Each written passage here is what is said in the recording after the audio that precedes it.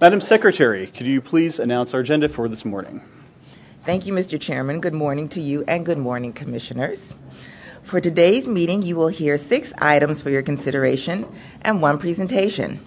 First, you will receive a preliminary report from the Public Safety and Homeland Security Bureau on its investigation into the false emergency alert that occurred in Hawaii on January 13, 2018. Second, you will consider a second report and order and second, excuse me, order on recon to enhance the effectiveness of wireless emergency alerts, including improving the geographic accuracy of these alerts. Third, you will consider an order addressing the remaining issues raised by parties challenging the Commission's orders implementing the Connect America Phase 2 auction, Auction 903, in which service providers will compete to receive support of up to 1.98 billion to offer voice and broadband service in unserved high-cost areas. Fourth, you will consider a public notice establishing procedures for the Connect America Fund Phase 2 auction, which will award up to 1.98 billion over 10 years to service providers that commit to offer voice and broadband services to fixed locations in unserved high-cost areas. Fifth, you will consider an order to establish an Office of Economics and Analytics. Sixth, you will consider a notice of proposed rulemaking proposing to eliminate the requirement that broadcast licensees and permittees routinely submit paper copies of contracts and other documents to the FCC as specified in Section 73.6.3613 of the Commission's rules. And seventh, you will consider an enforcement action. This is your agenda for today. Please note item 7 on the agenda as listed in the January 23, 2018 Sunshine Notice entitled Amendment of Parts 27, 54, 73, 74, and 76 of the Commission's rules to delete rules made obsolete by the digital transition was adopted by the Commission and deleted from today's agenda. First on your, agenda to, on your agenda today is a preliminary report presented by the Public Safety and Homeland Security Bureau, and Lisa Fowlkes, Chief of the Bureau, will give the introduction. Thank you, Madam Secretary. Ms. Fowlkes, if you're ready, the floor is yours. Good morning, Mr. Chairman, Commissioners. Earlier this month, on the morning of January 13th, people throughout Hawaii were alerted on their televisions, radios, and wireless phones of an imminent ballistic missile attack. The warning unleashed widespread panic and fear. The alert was issued by the state of Hawaii through the Emergency Alert System and the Wireless Emergency Alert System. But the warning was a false alert. Compounding this problem, it took 38 minutes for the Hawaii Emergency Management Agency to issue a corrected alert. As Chairman Pai stated, this false alert was unacceptable. He immediately directed the Public Safety and Homeland Security Bureau to investigate the incident with the goal of understanding how it happened and how to help prevent such an incident from happening again.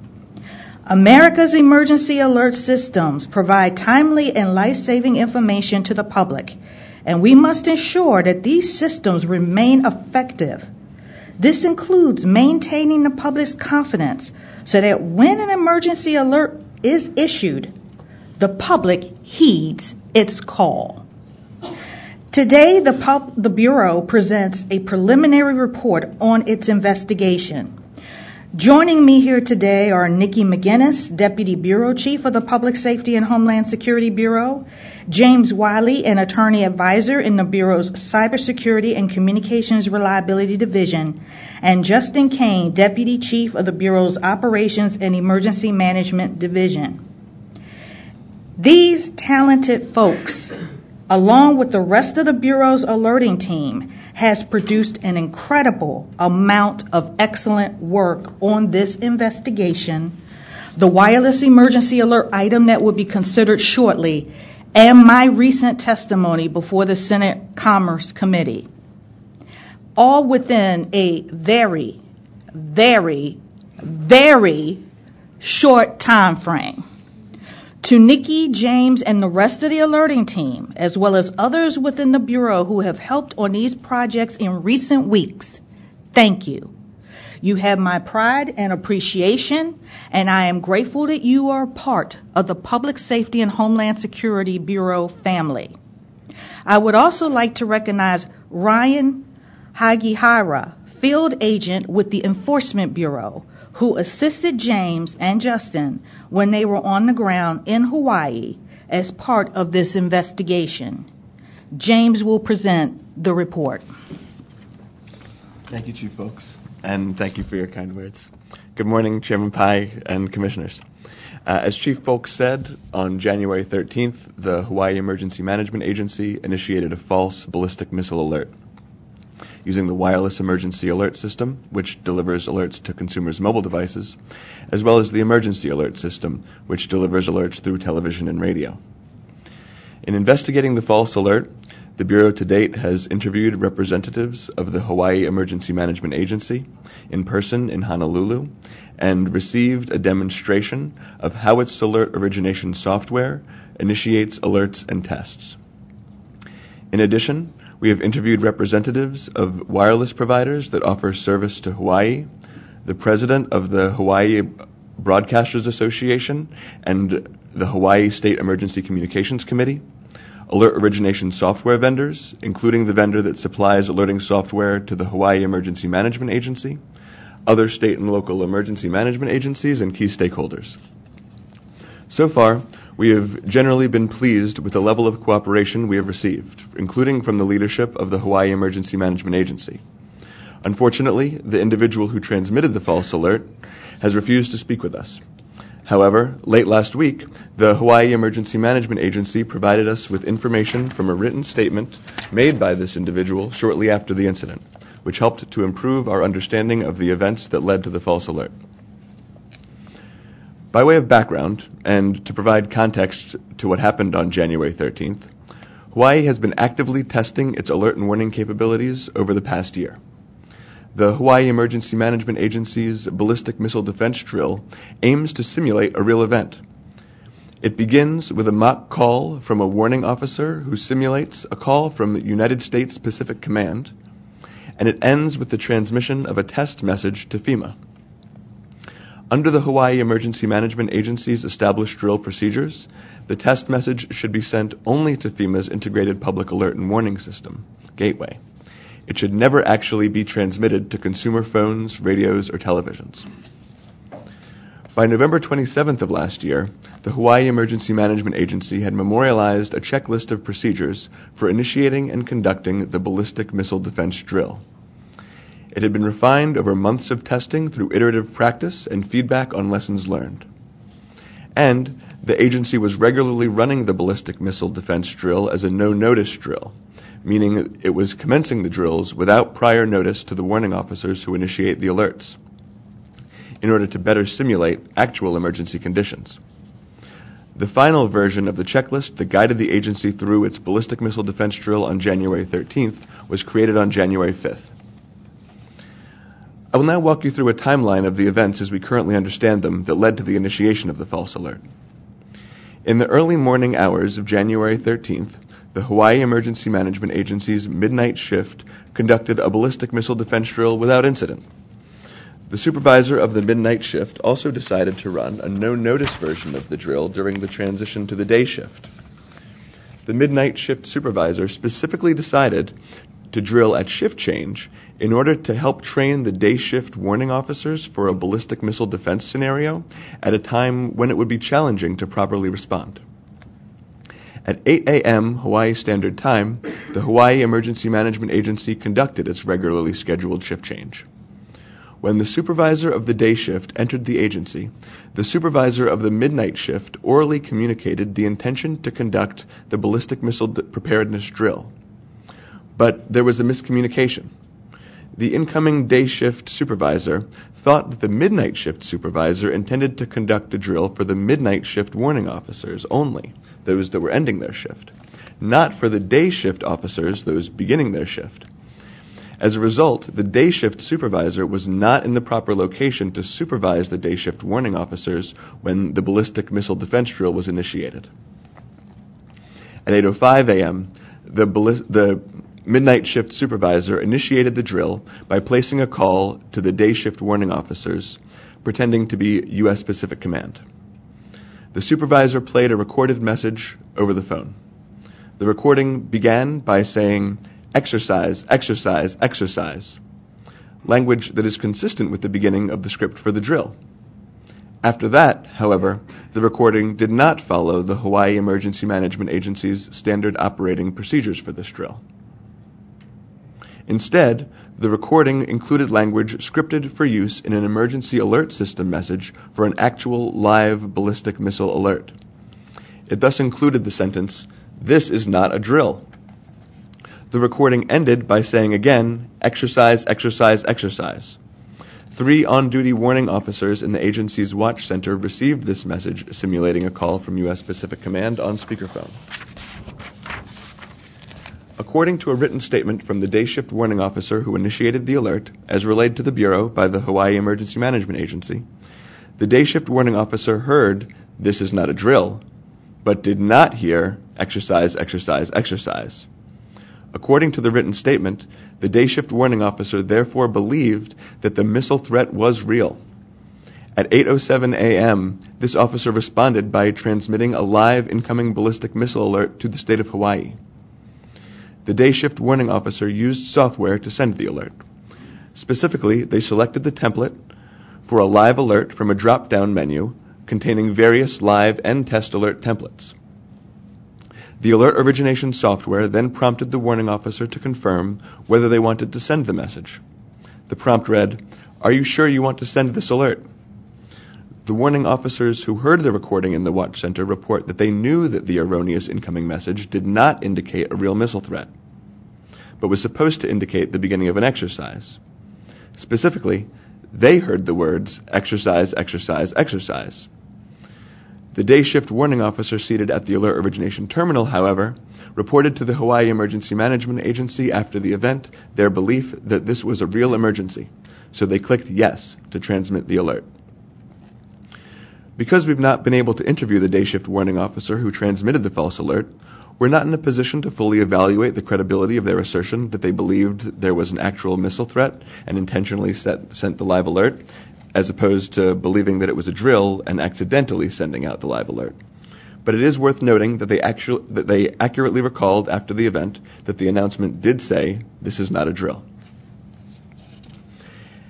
At 8.08 a.m., the mobile device of the warning officer who transmitted the alert sounded the wireless emergency alert attention signal, distinct audible tones that announce a wireless emergency alert, providing the first indication to those in the watch center that an actual alert had been transmitted to the public.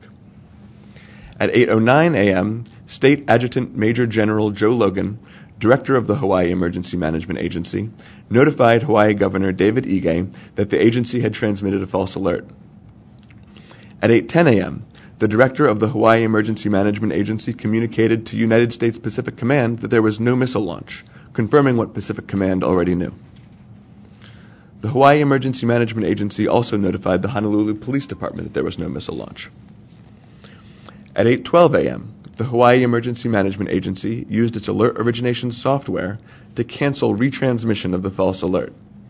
The cancellation is an instruction to downstream emergency alert system and wireless emergency alert system equipment to cease retransmission. Notably, a cancellation message does not generate an all clear message.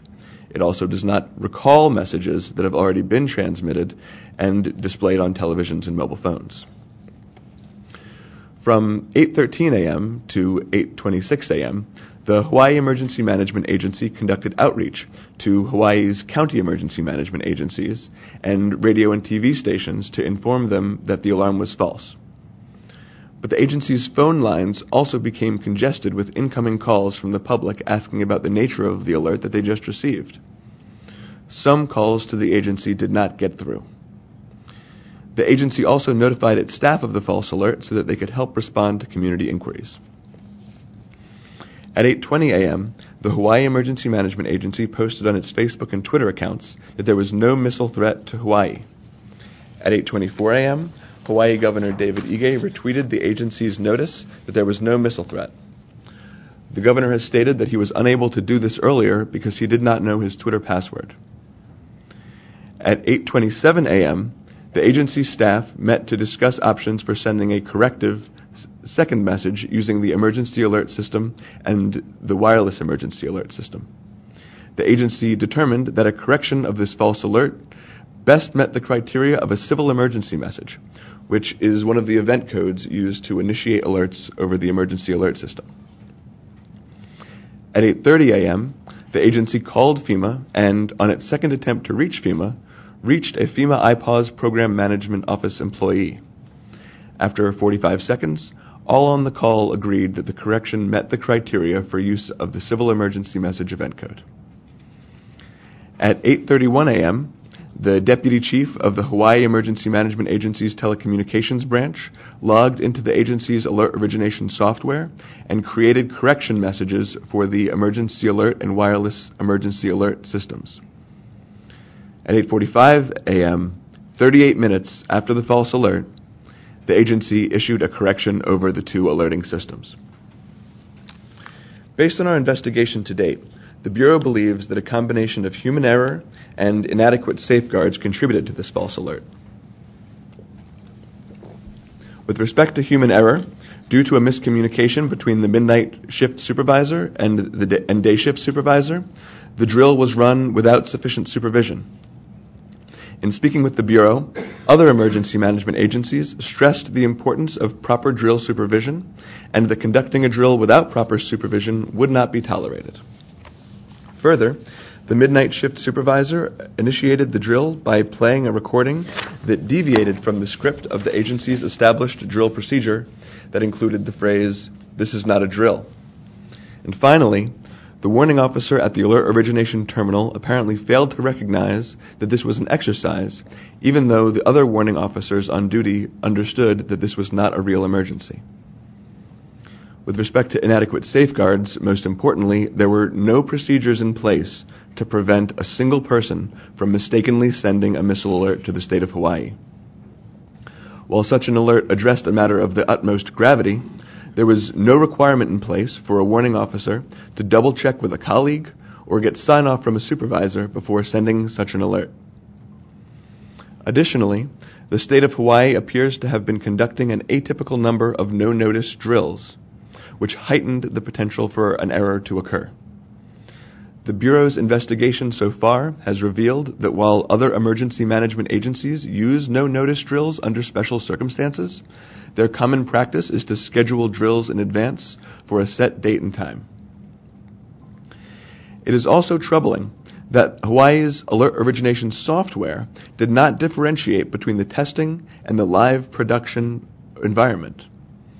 Hawaii's alert origination software allowed users to send both live alerts and test alerts using the same interface and the, and the same login credentials after clicking a button that simply confirmed, Are you sure you want to send this alert?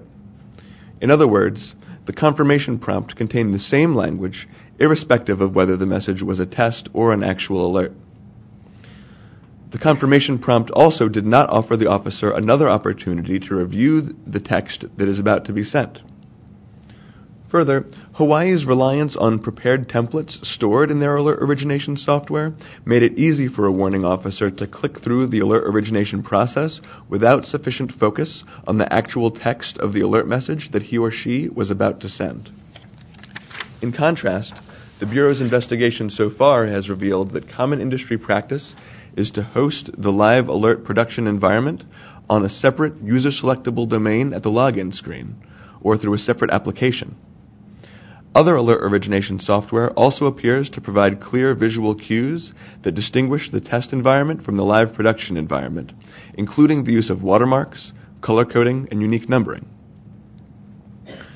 Once the false alert was sent, the error was worsened by the delay in authoritatively correcting the misinformation.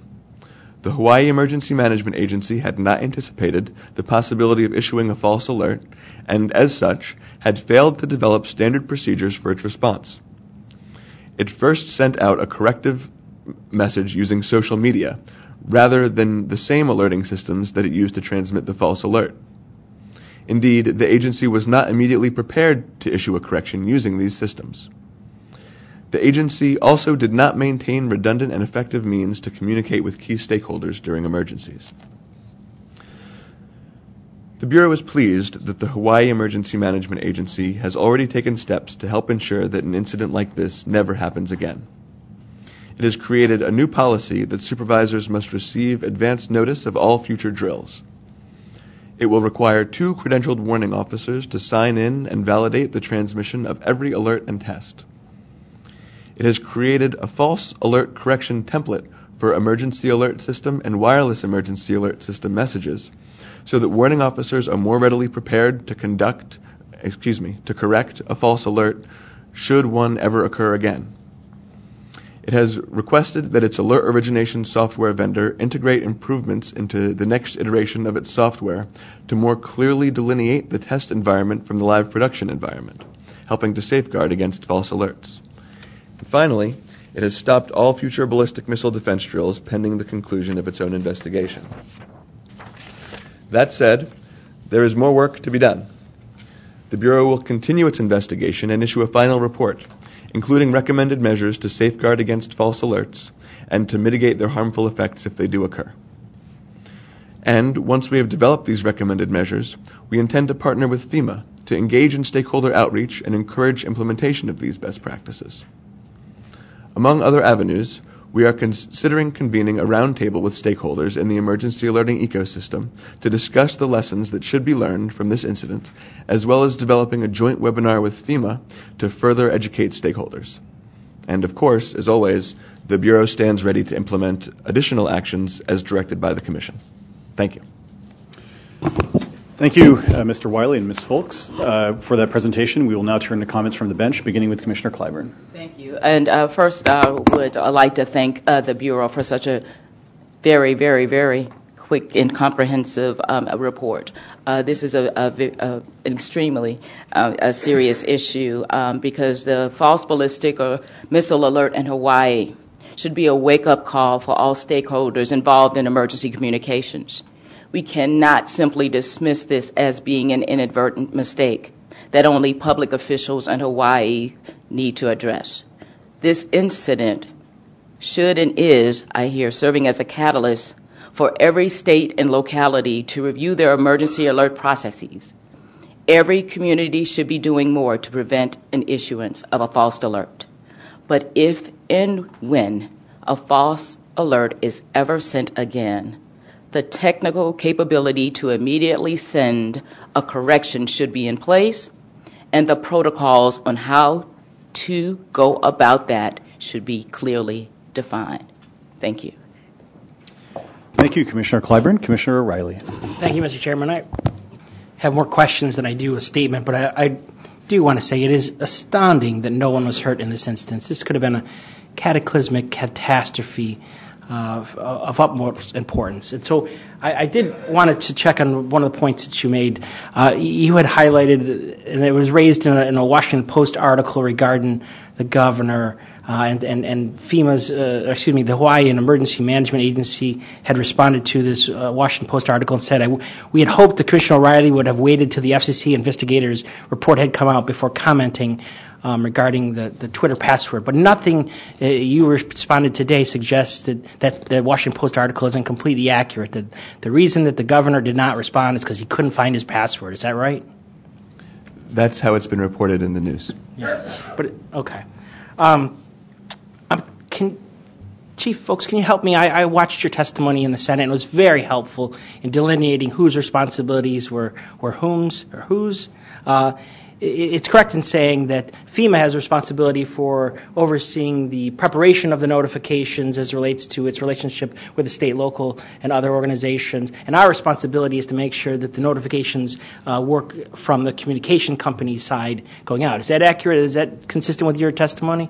Um, the FCC is responsible for oh, the um, distribution by the communication service providers FEMA oversees its integrated public alert and warning system, which is um, it, it aggregates alerts coming from the alert originators.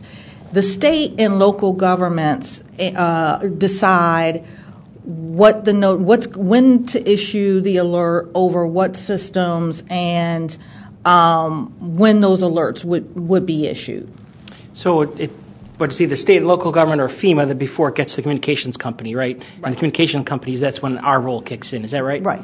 So I, I was wondering when I read your good work on the um, next steps a lot of these steps seem to be actually FEMA's responsibility. Is that not accurate? I mean, when it says things, you know, uh, that you mentioned a stakeholders roundtable was a possibility, and best practices are mentioned here, and safeguards for false alerts. That's all on FEMA's responsibility, and whether they did it or didn't do it, and overseeing the state and local. That, that's not the communication companies. I mean, the communications companies side seems to have worked very well, right? The from the communications perspective, the information did get out, whether it was a false information or accurate information. It did get out, and the, the companies themselves did their job. Is that accurate?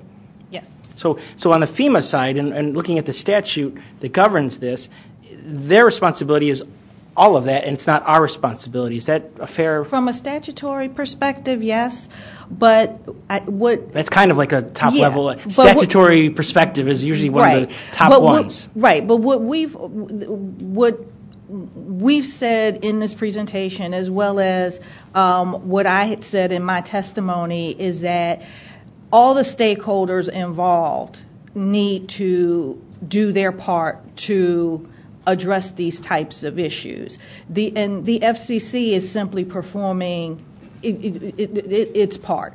For example, the FCC has in the past served as a convener of stakeholders to identify lessons learned and, best pra- and best practices. We've also taken into account feedback received from state and local governments and FEMA in terms of the policies that we adopt.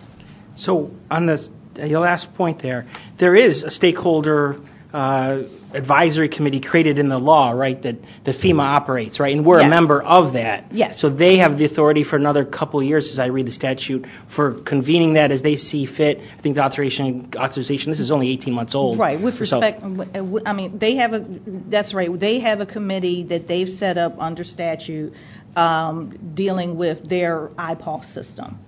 Okay. One last question, um, and, and that was in the presentation it, it's right to say that, that one of the, the, the supervisor of this entire project, if I see, was um, was at home at the time. Is that accurate? At 8:31, the supervisor logs in the system to begin to create a false alert, and he was he was at home at the time, right? The supervisor. Is that accurate? Anyway. Maybe follow up with you on that point. Sure. Okay. All right. Thank you, Mr. Chairman. Uh, thank you, Commissioner O'Rielly. Commissioner Carr. Thanks. Imagine what you would do if at this very moment on your phone you receive the following message Ballistic missile threat inbound. Seek immediate shelter. This is not a drill. Who would be the first person that you'd call? What would you say? And what would you do in the intervening 38 minutes between getting that message and getting another one saying that the first one was false. Many residents of Hawaii don't have to imagine that scenario, they live through it. Many of them thought those 38 minutes were their last ones. The panic and fear and heartache of those 38 minutes, we now believe, was due to human error, but also deficient preparation and training. No one should have to go through moments like those, especially if basic competency would have prevented them. The people of Hawaii are justifiably livid. They demand answers, and so do we. I commend the chairman for immediately beginning an investigation into what happened in Hawaii on January 13th. And I thank the Public Safety and Homeland Security Bureau for all the work you've already put together, for your preliminary findings, for the testifying on this issue and doing it all so quickly. It's shed a lot of light on what's already transpired. We will get to the bottom of this incident, and it's incumbent upon all of the relevant agencies of our government to make certain that this doesn't happen again. So thank you again for all your diligent work on this, for the findings you've put together. I look forward to continuing to work with you all on this matter. Thanks. Thank you, Commissioner Carr. Commissioner Rosenworcel. Years ago, I had the privilege of working for the people of the state of Hawaii when I served as counsel to the late Senator Daniel Inouye. So I know its residents are graceful and resilient.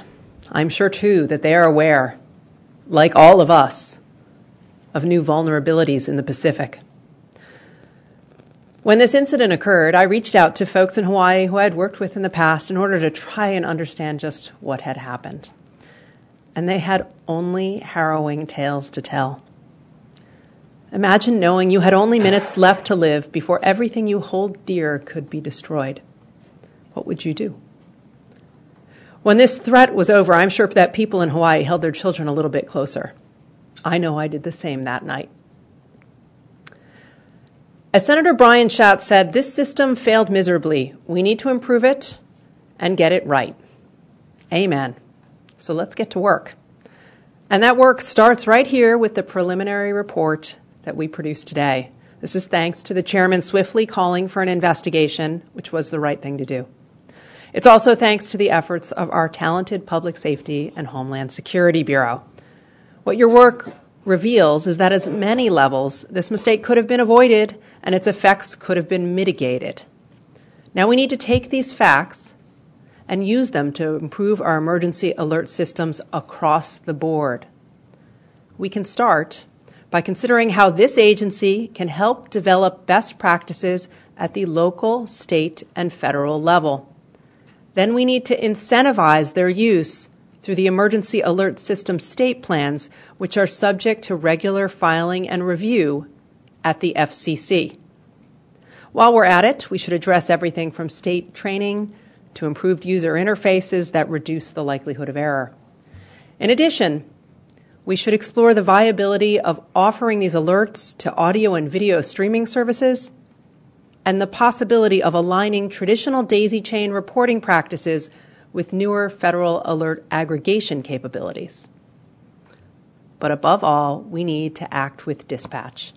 We need real changes in place on an accelerated schedule. We should commit right here, right now, to having them in place before the summer begins. Because what happened in Hawaii should never happen again. Thank you, Commissioner.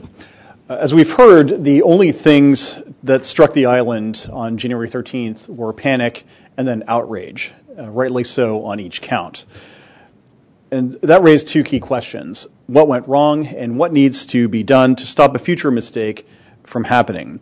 Those are the two questions I asked the Public Safety Bureau to immediately investigate when I initiated this investigation on January 13th. And as today's preliminary report demonstrates, the Bureau has made a lot of progress in less than two and a half weeks. Very busy weeks, as uh, Chief Fowlkes has pointed out. And the presentation this morning also makes clear that many things went wrong in Hawaii, as we saw from Mr. Wiley's uh, PowerPoint. And I don't say this for the purpose of casting blame or disparaging Hawaiian officials, but we simply need to identify the problems in order to fix them. Not just in Hawaii, but anywhere else where they may exist in this country. In my view, the two most troubling things that our investigation thus far has uh, found is that number one, Hawaii, uh, the Hawaii uh, Emergency Management Agency didn't have reasonable safeguards in place to prevent human error from resulting in the transmission of a false alert. And number two, Hawaii's uh, Emergency Management Agency didn't have a plan for what to do if a false alert was transmitted. Every state and local government that originates alerts needs to learn from these mistakes. Each should ensure that it has adequate safeguards in place to prevent the transmission of false alerts. And each should have a plan in place for how to immediately correct a false alert. This is important because the public needs to be able to trust that when the government issues an emergency alert, it is indeed a credible alert. Otherwise, people won't take alerts seriously and respond appropriately when a real emergency strikes and lives are on the line. Now, today's preliminary report, as Mr. Wiley pointed out, is not the end of our work on this issue, but rather the beginning. In the weeks to come, the Bureau will produce a final report on this incident. The FCC will work in collaboration with federal, state, and local officials to explore appropriate actions and or best practices. We want to minimize both the chances of future false alerts being issued as well as the impact of any such false alerts. I too would like to thank all of the witnesses who have cooperated with our investigation. I'd also like to thank Senator Brian Schatz and Congresswoman Colleen Hanabusa of Hawaii for speaking with me on that day and in days subsequent. And most of all, I would like to thank the Bureau's staff for the expertise, speed, and tenacity that they have brought to bear on this important task. James Wiley and Justin Cain were our dogged on the ground investigators in Hawaii, as well as field agent Ryan Hagihara. And they've been ably supported and assisted by uh, Rochelle Cohen, Greg Cook, Lisa Fowlkes, Megan Henry, and Nikki McGinnis. Thanks to all of you for your hard work, and thanks in advance for the efforts to come. Oh, with that, Madam Secretary, could you please announce the next item on today's agenda? Mr. Chairman and Commissioners, the second item on your agenda, entitled Wireless Emergency Alerts, Amendment of Part 11 of the Commission's Rules Regarding the Emergency Alert System, will be presented by the Public Safety and Homeland Security. Once again, Lisa Fowlkes, Chief of the Bureau, will give the introduction. Thank you, Madam Secretary. And uh, Ms. Fowlkes, whenever you and your uh, team is ready, are ready. Thank you. Good morning again, Morning. Chairman Pai and Commissioners. The Public Safety and Homeland Security Bureau is pleased to present a second report and order and second order on reconsideration that would enhance the effectiveness of wireless emergency alerts. When the Wireless Emergency Alerts Program launched in 2012, participating wireless providers were generally required to send alerts to a geographic area no larger than the county or counties affected by an emergency. Oftentimes, however, an emergency affects an area smaller than a county. To address that, as of last November, all participating wireless providers are now required to transmit alerts to a geographic area that best approximates the area affected by an emergency, even if it is smaller than a county. Today's order would improve geo-targeting accuracy even further by requiring participating wireless providers to deliver alerts to an area that matches the target area specified by alert originators with an overreach of no more than one-tenth of a mile. This enhanced geo-targeting standard would allow emergency managers to send alerts to only those phones located in areas affected by an emergency without disturbing others. Recent natural disasters in Texas, California, and Puerto Rico, among other places, have demonstrated the need for public safety personnel to communicate potentially life saving information to targeted areas, including orders to evacuate or shelter in place due to wildfires or hurricanes. The enhanced geo-targeting requirement before you today would allow for the kind of precise alerting, prevent over-alerting, and encourage the use of wireless alerts during times of crisis. If adopted, this and other improvements in today's order would make wireless emergency alerts an even more effective tool for emergency managers to keep their communities safe. Joining me at the table are Nikki McGinnis, Megan Henry, and James Wiley, attorney advisors in the Bureau's Cybersecurity and Communications Reliability Division, and Dr. Rasul Safavian, engineer in the Bureau's Policy and Licensing Division. I also want to thank the other bureaus and offices within the agency, particularly our colleagues in the Office of General Counsel, who have provided their expertise and counsel throughout this process. Megan will present the item. Thank you. Good morning, Chairman Pai and Commissioners. As Chief Fowlkes explained, today's second report and order takes important steps towards improving the utility of wireless emergency alerts, or WEA, as a life saving tool. First, the order would require participating wireless providers to deliver WEA messages to an area that matches the target area specified by the alert originator. We define matching the target area as delivering an alert message to 100% of the target area with no more than one tenth of a mile overshoot. This requirement would apply to all new devices and all existing devices that are capable of being updated to support this match standard. we expect that participating wireless providers would match the target area in all instances, except where they're technically incapable of doing so. In those very limited circumstances, for example, when a consumer turns off the location services on their device, wireless providers would be required to best approximate the target area. In recognition of the urgent need to ensure that members of the public receive only the alert messages that are relevant to them, and to give emergency managers the tools to communicate life saving information to those specifically affected by an emergency, we would require participating wireless providers to comply with this rule by November 30th, 2019. The order would also adopt new consumer disclosure requirements to ensure that members of the public are aware of the availability and benefits of enhanced geotargeting at the point of sale. Second, the order would require wireless providers to preserve WEA messages on mobile devices for at least 24 hours or until they are deleted by the user. Preserving alert messages on the device will allow members of the public to go back and review life saving information, such as the location of shelters and supply distribution units and emergency hotline numbers. This capability is especially important given the Commission's recent adoption of rules that allow for longer WEA messages that include clickable links and phone numbers.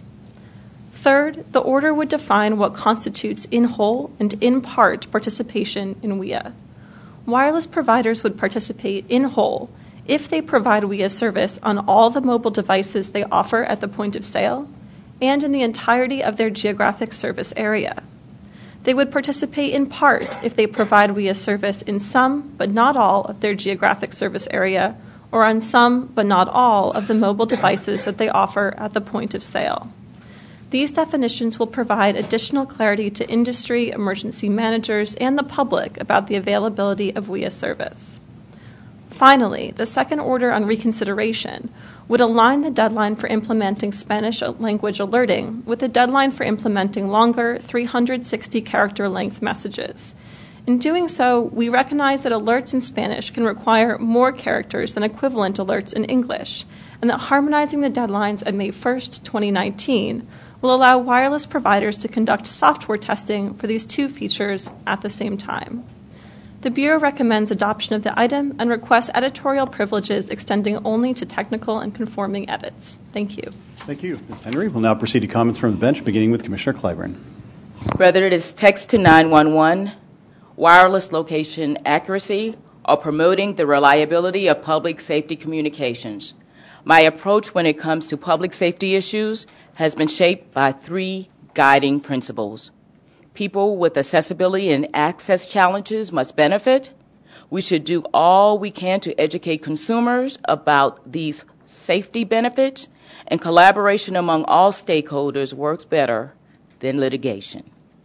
Frederick Douglass, one of the most influential Af- Americans in, of the 19th century, is known to have said, if there is no struggle, there is no progress. With African American History Month just days away, I find this to be a particularly fitting quote to aptly describe most of the public safety proceedings I have participated in over the past eight years. Typically, proceedings start with the Commission setting an ambitious goal to improve these services. Then, in many cases, the communications industry pushes back on certain details.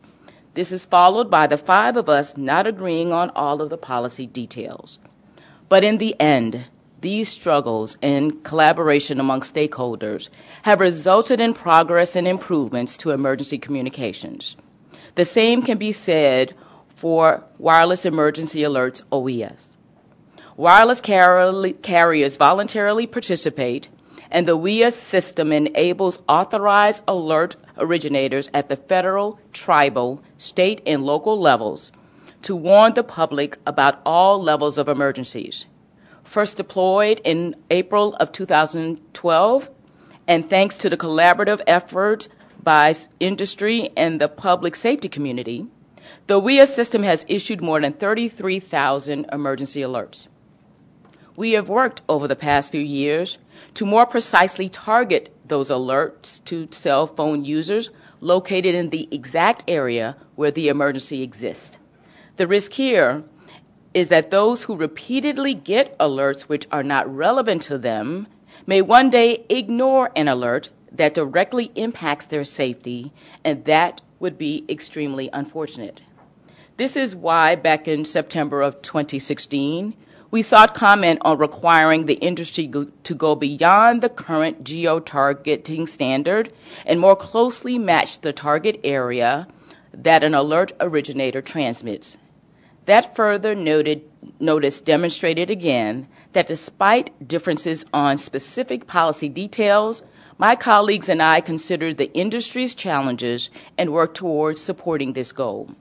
Today's order marks an important milestone because it follows through on the previous administration's enhanced geotargeting proposal and requires the industry to meet the enhanced standard by November 30th of 2019. I must admit that I had concerns about certain aspects of the draft originally circulated earlier this month. But I am pleased to report that I can now support the item because we were able to compromise on a few key areas.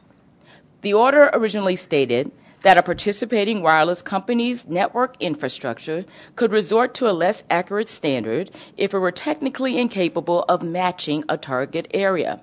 I was concerned that the term could become a loophole. My colleagues agreed to the request to clarify that technically incapable does not include circumstances when a carrier's own failure to adequately maintain or upgrade its network or devices makes it unable to meet this standard. I want to commend APCO, the New York City Emergency Management Office, and others for their strong advocacy on this issue. In addition, the original draft order did not amend the subscriber notification rule to keep pace with the technical changes we are adopting today. Currently, consumers must be notified at point of sale if wireless companies do not offer WEAs at all or if they offer WEAs only in part. If we really believe that more precise geo-targeting alerts are important to keep people safe, then we should give all wireless customers the ability to choose more precise geo-targeting devices and services. Consumers cannot make that choice if they do not have adequate notification. So I thank my colleagues for agreeing to amend the rule to make clear that consumers must also be notified about the, ex- the extent to which wireless companies offer enhanced geo-targeting alerts. Finally, I was concerned that the initial draft had no mention of multimedia information in wireless emergency alerts.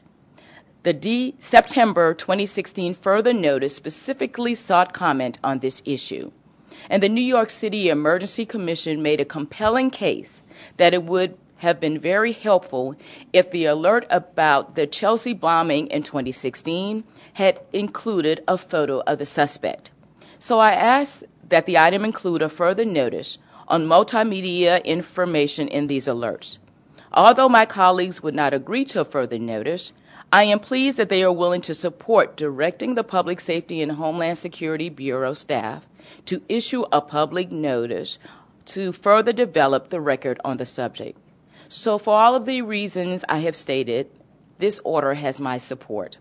I thank Lisa Fowlkes and the dedicated staff of the Public Safety Homeland Security Bureau for the work on this order and my colleagues for working with me on such a critical proceeding. Thank you. Thank you, Commissioner Clyburn. Commissioner O'Rielly. Thank you, Mr. Chairman. Everyone should be able to agree that providing agencies with the flexibility to pinpoint their wireless emergency alerts to specific areas where there is a threat is an incredibly useful function. Public safety entities and industry are supportive of such geo targeting capabilities, and so am I. Therefore, I'm generally in favor of today's order. My concerns, however, center on the Commission's continuous need to mandate technologies before they are ready in timeframes that don't seem to be in line with the record. The notice that led to today's item, along with the Commission's Communications, Security, Reliability, and Interoperability, Council, commonly known as CSRIC, recommended that compliance should occur 42 months after adoption of the Commission order. The wireless industry said that they could then probably do it faster, excuse me, and suggested 36 months. Today's item adopts an inexplicable 22 months timeline based on no record evidence that this is actually achievable. Although wireless providers have stated that they will try to meet this aggressive timeline, they've also stated that it'll be incredibly challenging. Basically, the stars must align just right to make this happen in this time. While I understand that public safety entities want geo targeting now, you cannot wish technology into existence.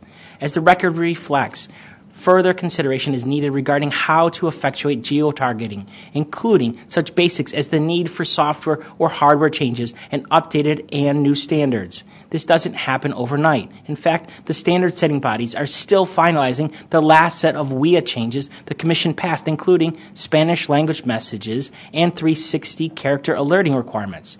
Before these are even completed, and geo-targeting relies on the ability to send these longer alerts, we are adopting new rules that will add additional requirements for standard setting bodies to work out. Based on the draft that was made public, the Alliance for Telecommunications Industry Solutions, or ATIS, recently identified 25 standards that must be developed or modified to make geo-targeting possible. Hopefully, this will be the end for a while. But let's not forget that a key priority for our standard setting bodies should be setting standards for 5G. I also want to be clear that the industry should be given the opportunity to figure out the best means to implement geo-targeting. It is paramount in the context of public safety that industry ensures that whatever means or technology they pick is tested and works. They should not be forced to cut corners or pick a lesser solution to meet an aspirational deadline. We went down this road for phase two location accuracy and it didn't work out well. Therefore, if standards are delayed and industry needs more time to successfully deploy geo-targeting, I'll be supportive of extending the deadline. For this reason, I'm pleased that the chairman agreed to my request to add language to the item that the commission will entertain a waiver of the 22-month deadline if the standards process is prolonged. Ultimately, we must remember that this is a voluntary program. We certainly do not want providers opting out of the program because they cannot set standards and integrate this functionality in 22 months. This brings me to the cost benefit analysis. While I remain skeptical of the flawed value of a statistical life metric, and while some assumptions are made with little to no support, I appreciate the efforts by the Chairman's office and staff to improve the, this part of the item. Going forward, we should work towards improving cost benefit analysis to ensure that they are based in fact and that there is actual proof or a high probability that the stated benefits will actually accrue from the burdens we impose. I hope under the new Office of Economic and, Anal- and, Analytics, which we established in a separate item today, we can work on a framework in which any proposed rule must be shown to have a statistically significant likelihood of correlation or causation to a significant to a suggested benefit. Excuse me. Further, I want to thank the chairman for incorporating some of my additional edits, such as adding language to ensure that for device-based solutions, the coordinate points and visible text fit within the 360 characters. I also want to thank the staff for all of their hard work that they dedicated to this issue, especially given their intense focus on the other issues in Hawaii over the last many weeks. I thank you so very much, and I will vote to approve the item. Thank you, Commissioner O'Rielly. Commissioner Carr. Thanks. Wireless emergency alerts save lives. From a National Weather Service warning about an approaching hurricane to Amber alerts that bring a child home safely. Emergency managers have sent more than 33,000 alerts aimed at keeping the public safe. But an ineffective WEA system is no system at all. If emergency managers cannot count on the system to deliver their messages on time and to the intended area, or if the public loses trust in WEA's reliability, officials and the public will opt out, In a system that delivers few alerts to a dwindling audience becomes an afterthought rather than a life saving tool. Recent events in California and Hawaii remind us of the urgency of improving WEA. The massive wildfires that swept through Northern California in October caused the evacuation of tens of thousands of residents. The WEA system was designed for precisely this sort of situation when lives and property are at stake, when a large number of Americans need to receive instructions and when time is of the essence. Yet there are reports that officials in California chose not to use WEA because it lacks precise targeting. They fear the unintended consequences of alerting too many residents and telling them to evacuate. And as we just heard in the report, the false alert in Hawaii resulted in 38 minutes of panic and confusion, so we must continue to exercise our oversight authority. Now, our experience with WEA over the last five years and the significant submissions from the public safety community in the record support the Commission's actions today. We now require that WEAs match the originator's target area to reduce the likelihood of overwarning and warning fatigue. We require that messages be preserved for 24 hours so that the public can review and share alerts after they've been sent. And we provide guidance on how legacy networks and devices can continue to comply with our rules. And in selecting the new deadlines, the Commission has attempted to balance the urgency we all feel to improve the WEA system with the speed at which technology and standards are developing. I'm confident the Commission will continue to work with all stakeholders on implementing these upgrades and do so based on the recognition that working quickly and effectively together will save lives. So thank you to the staff of the Public Safety Homeland Security Bureau for all your work on this item. I'm pleased to support it. Thank you, Commissioner Carr. Commissioner Rosenworcel. Our emergency alert systems were first designed for war and then rebuilt for peace. In the wake of September 11th attacks, we reimagined them again for the smartphone era. And today, wireless emergency alerts are a powerful tool to quickly send messages to people in imminent danger. 90 characters to the right person at the right time in the right place can mean the difference between life and death. These messages have already saved countless lives and helped avert many more tragedies. This past year, however, exposed too many shortcomings in our emergency alert systems. We saw this quite clearly earlier this month with the harrowing false alert announcing a ballistic missile attack in Hawaii. And on top of this, last year was one of the most devastating on record for natural disasters in the United States. California experienced its most destructive and largest wildfire season, burning 1.2 million acres of land and killing 46 people. Hurricane Harvey shattered rainfall records for a single tropical storm, flooding parts of Texas with more than four feet of rain. Puerto Rico is still recovering from when Hurricane Maria made landfall on the island four months ago. More than 1,000 people died in the storm and its aftermath. 30% of the island remains without power. And Puerto Rico is still waiting for a report and plan for communications recovery from this agency. In too many cases last year, wireless emergency alerts failed to perform. In California and Texas, for instance, emergency services were unable to transmit these messages because they were unable to target them accurately enough to ensure that they would help those in danger and not cause panic beyond the broader area of concern. That's troubling. Moreover, it's a problem when repeated imprecision of these alerts causes those who receive them to disregard warnings. And we've seen this happen before with destructive weather in areas where tornado sirens have been sounded too many times over too large of an area, overstating the scope of danger. That's why in November of last year, I urged the FCC to act swiftly to require more granular geo-targeting before the next disaster compels us to do so. For this reason, I fully support the actions the agency is taking today. The rules we adopt here can significantly increase the precision of wireless emergency alerts.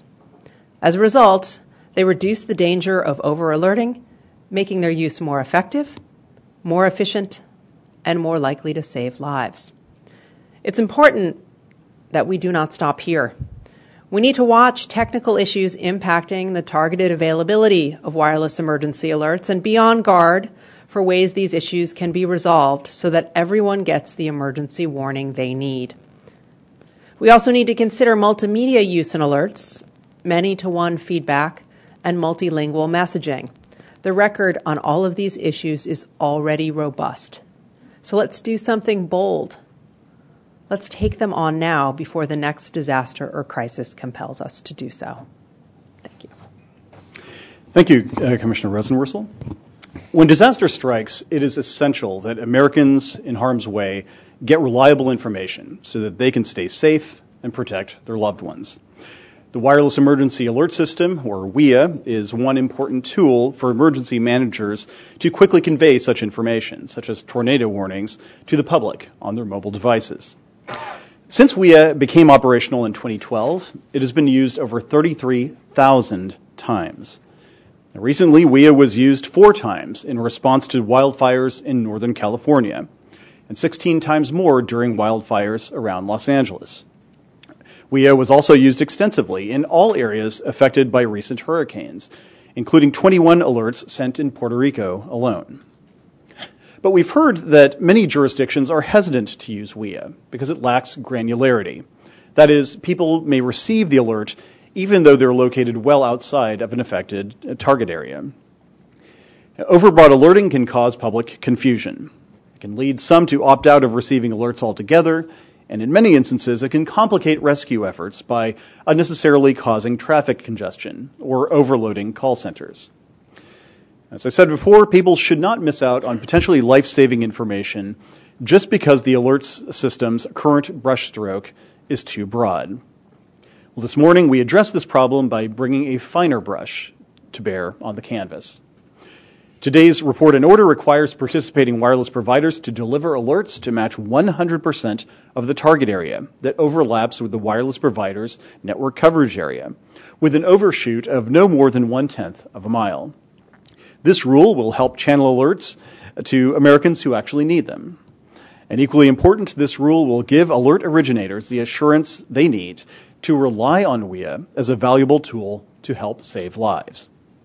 Indeed, among the many public safety officials who have endorsed this approach, Harris County Deputy Emergency Management Coordinator Francisco Sanchez has said that this rule, and I quote, will be the single most important improvement to the nation's alerts and warnings infrastructure in years. Now, I understand that there is some division over the rule's November 2019 implementation deadline. Some say the schedule is too aggressive. Some say it's not aggressive enough. I think it's just right. On this public safety matter, I favor an approach that I believe is aggressive, aggressive and achievable. And in my view, the record indicates that November 2019 meets this test. In short, this rule, coupled with the other improvements that we adopt today, enabling consumers to retrieve alerts for 24 hours after they are received, clarifying the difference between providers participating in WEA in part versus in whole, and harmonizing the deadline for implementing Spanish language alerting with the deadline for implementing longer 360 character length messages. All of these things will strengthen the WEA system and keep America safer. I, like my colleagues, would also like to thank the staff of the Public Safety and Homeland Security Bureau for all of the hard work and the commitment to serving the public that they have shown. Rochelle Cohen, Greg Cook, Lisa Fowlkes, Megan Henry, Nikki McGinnis, Rasoul Safavian, Emily Talaga, and, of course, James Wiley. And from the Office of General Counsel, thanks to David Horowitz, Bill Richardson, and Anjali Singh.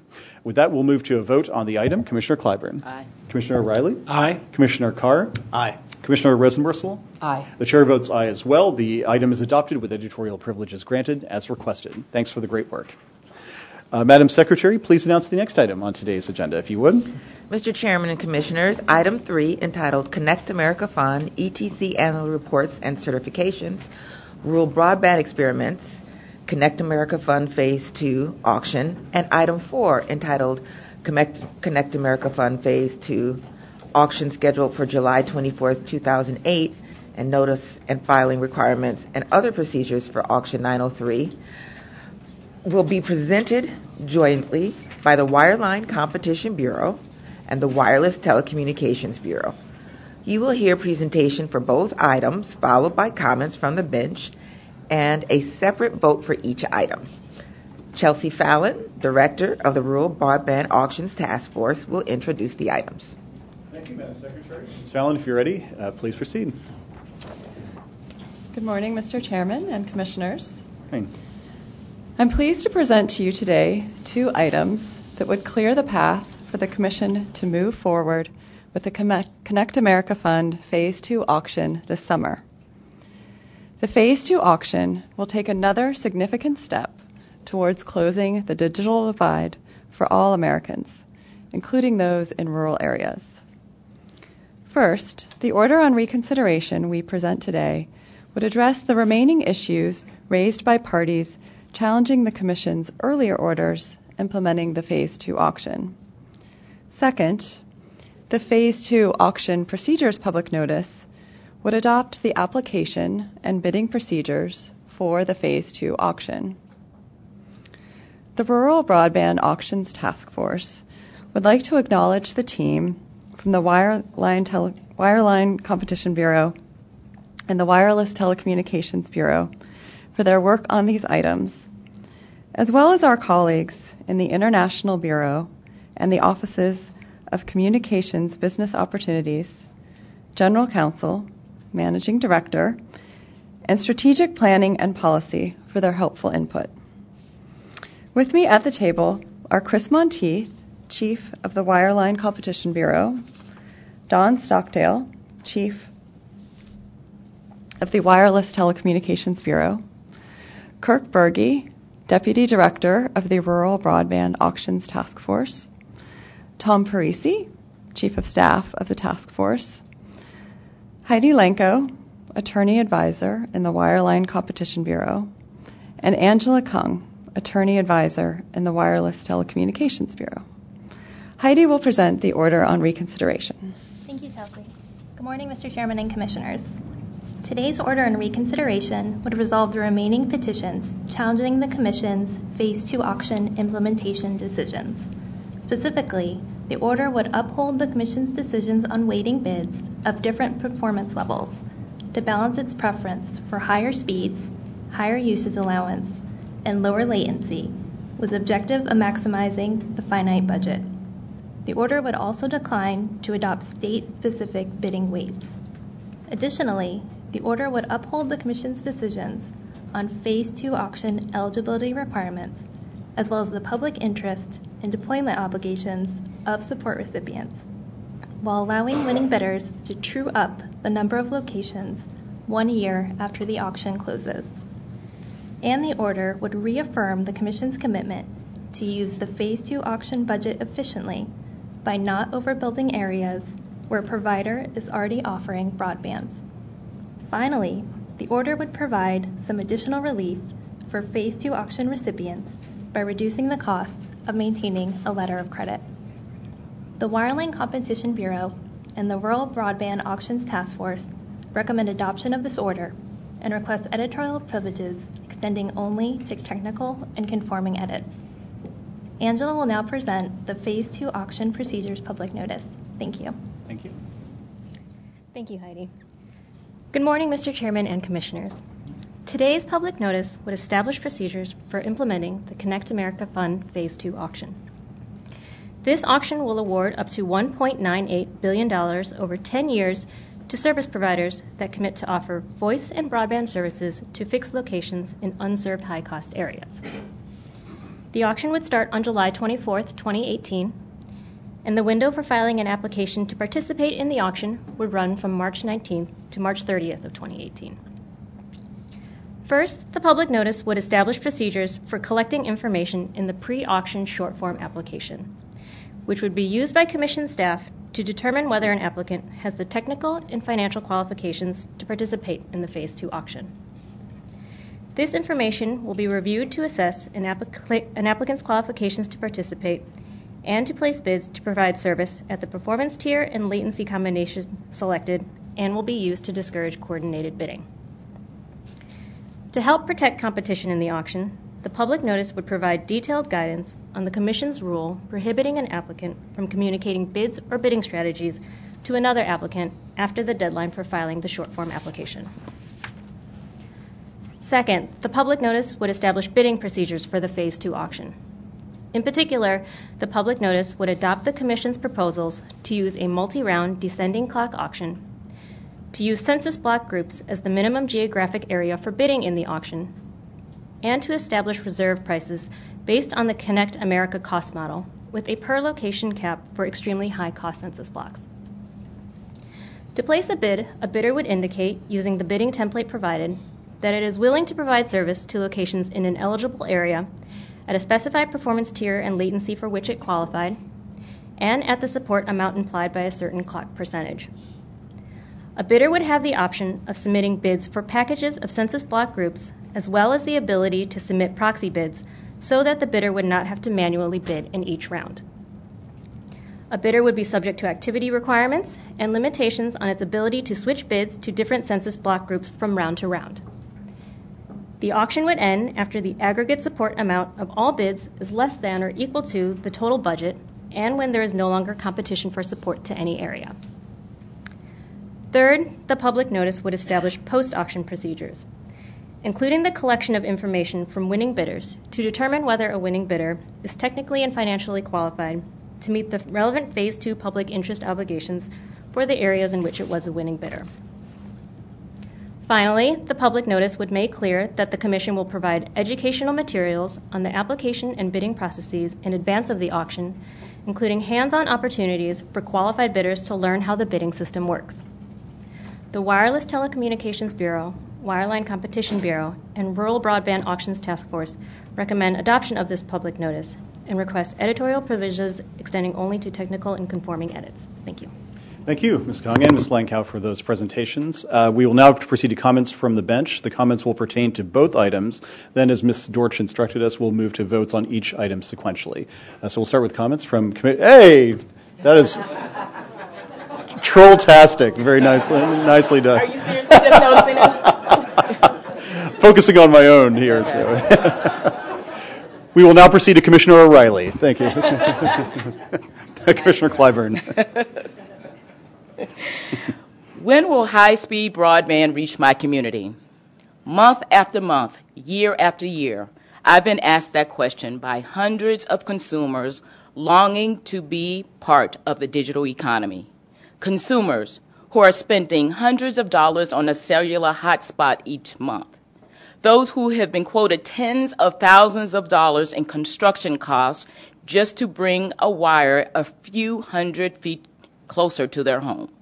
And others in communities with no internet at all who have been told for years that the business case just does not exist for bringing them service.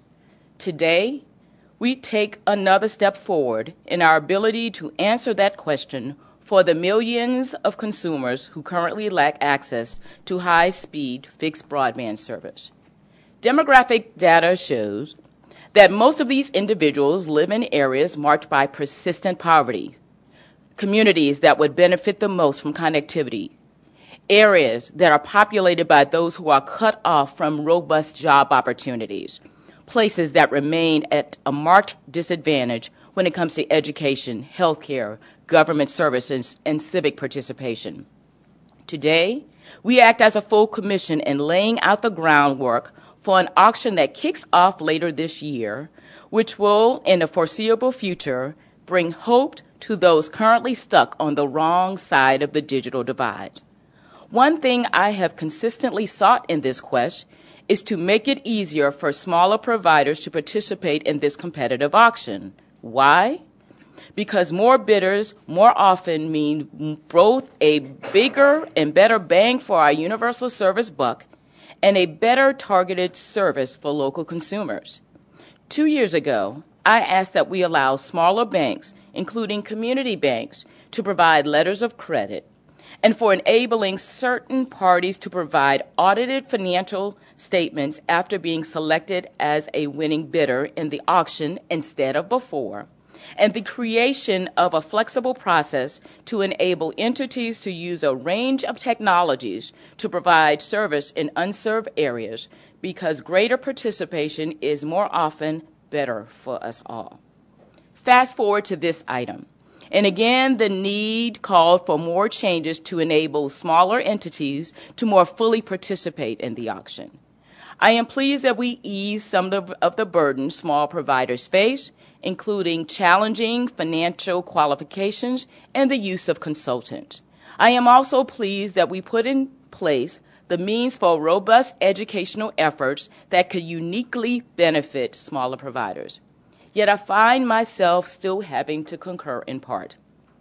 I am disappointed that we were unable to use smaller geographic units than census block groups And despite our unified desire as a commission to spur deployment on tribal lands, we do not take any action here either. The FCC's 2016 Broadband Progress Report found that more than 68% of Americans living on tribal lands in rural areas lack access to fixed broadband speeds of 25 megabits down and 3 megabits up. That we do nothing additional to incent tribal broadband speaks volumes. It is also cold comfort to me that many of these companies winning auction monies will be the only game in town, and that, if by chance they engage, those companies engage in blocking, throttling, or paid power prioritization, there will be nowhere for those consumers to turn. The majority's decision last month to dismantle net neutrality protection is to blame for this uncertainty, yet I am inspired by states like Montana and New York that make clear of their intent to protect their consumers when the federal government has chosen not to do so. Nonetheless, to the dedicated public service on the servants on the Rural Broadband Task Force and the Wireline Competition Bureau, I thank you for your unwavering commitment to universal service and for focusing on how to ensure that all Americans have access to the promise that broadband brings. Thank you. Thank you, Commissioner. Uh, Commissioner O'Rielly. Thank you, Mr. Chairman. I feel like your cup as well. You might be the one person that actually likes Burger King coffee. I never heard someone say I need some Burger King coffee. oh well. With these two items, the full commission completes its remaining tasks to finalize the Connect America Fund Phase 2 auction. The work on this auction has been a substantial undertaking spanning multiple chairmanships. It will be the first auction of ongoing universal service support using a multi-round reverse auction format, a structure I've strongly advocated for years. In fact, I recall drafting amendments on behalf of members of Congress to require reverse auctions for FCC high-cost programs back in 2005. Therefore, I'm pleased that this long-awaited action will soon come to pass. I do remain concerned about the impact of certain decisions on participation in the auction. In particular, I still believe that the weights assigned to different service tiers will tip the scales towards funding gigabit service in fewer communities at enormous cost while leaving many more unserved Americans with no broadband option whatsoever for many years to come. The weighting decision was made in part to encourage providers of fiber based broadband to participate in the auction, and I truly hope they do so. A successful auction will depend on the broadest possible participation, but with some of those same providers expressing concern about the complexity of the auction, criticizing the FCC for excluding areas that our data shows are now served, or inappropriately criticizing Chairman Pai's commitment to rural broadband in America, we cannot take their interests for granted. At the same time, the decisions to unduly penalize other technologies, especially satellite service, could have a negative impact on participation not only in this auction, but in the Remote Areas Fund auction as well. This is not the balance I had hoped for, and therefore I must concur on the failure to reconsider the, and recalibrate the auction weights. In general, however, I am supportive of the policy decisions and procedures set forth in, in these items. I'm particularly encouraged by the agency's efforts to ensure that our universal service decisions are based on accurate data.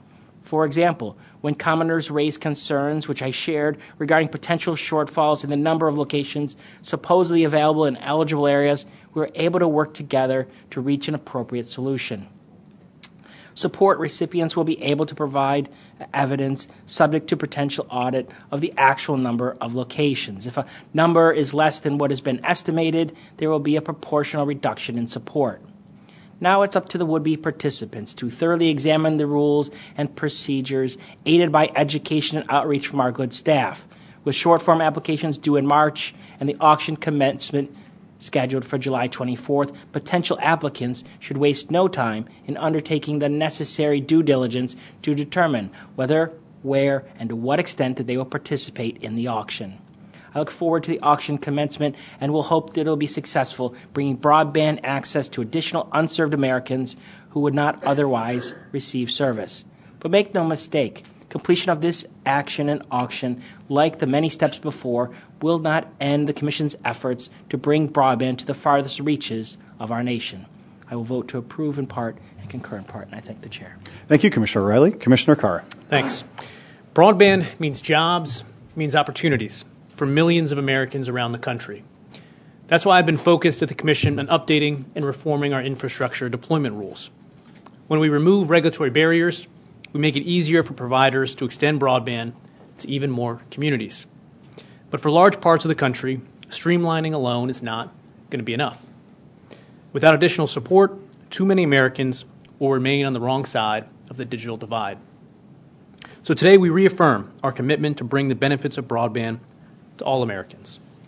The rules we finalize today will allow us to make nearly $2 billion available over the next decade to help deliver broadband and voice service to areas that would otherwise be uneconomical to serve.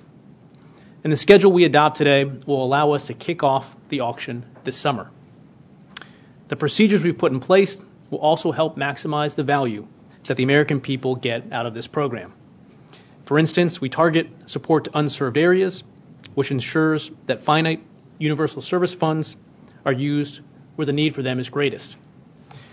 And we include safeguards to address instances where our model might overpredict the number of customer locations.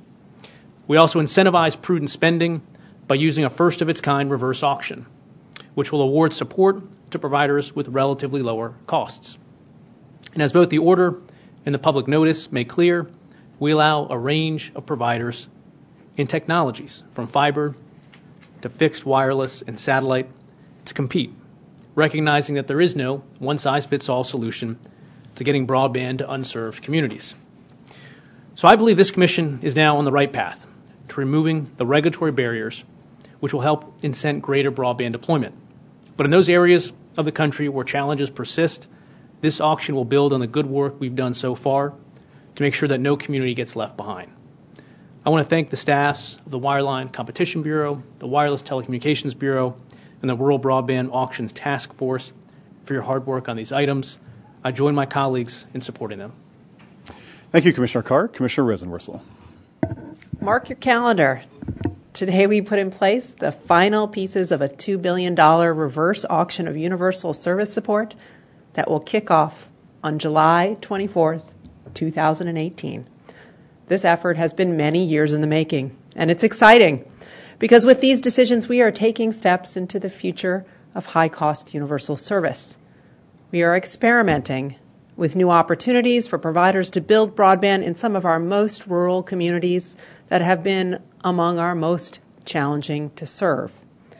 This forward thinking effort has my full support. Now, despite my support, I do have one concern that I want to acknowledge. I would have preferred that we worked right now with our state partners like Pennsylvania, who have stepped up and sought out new forms of federal state collaboration when it comes to universal service.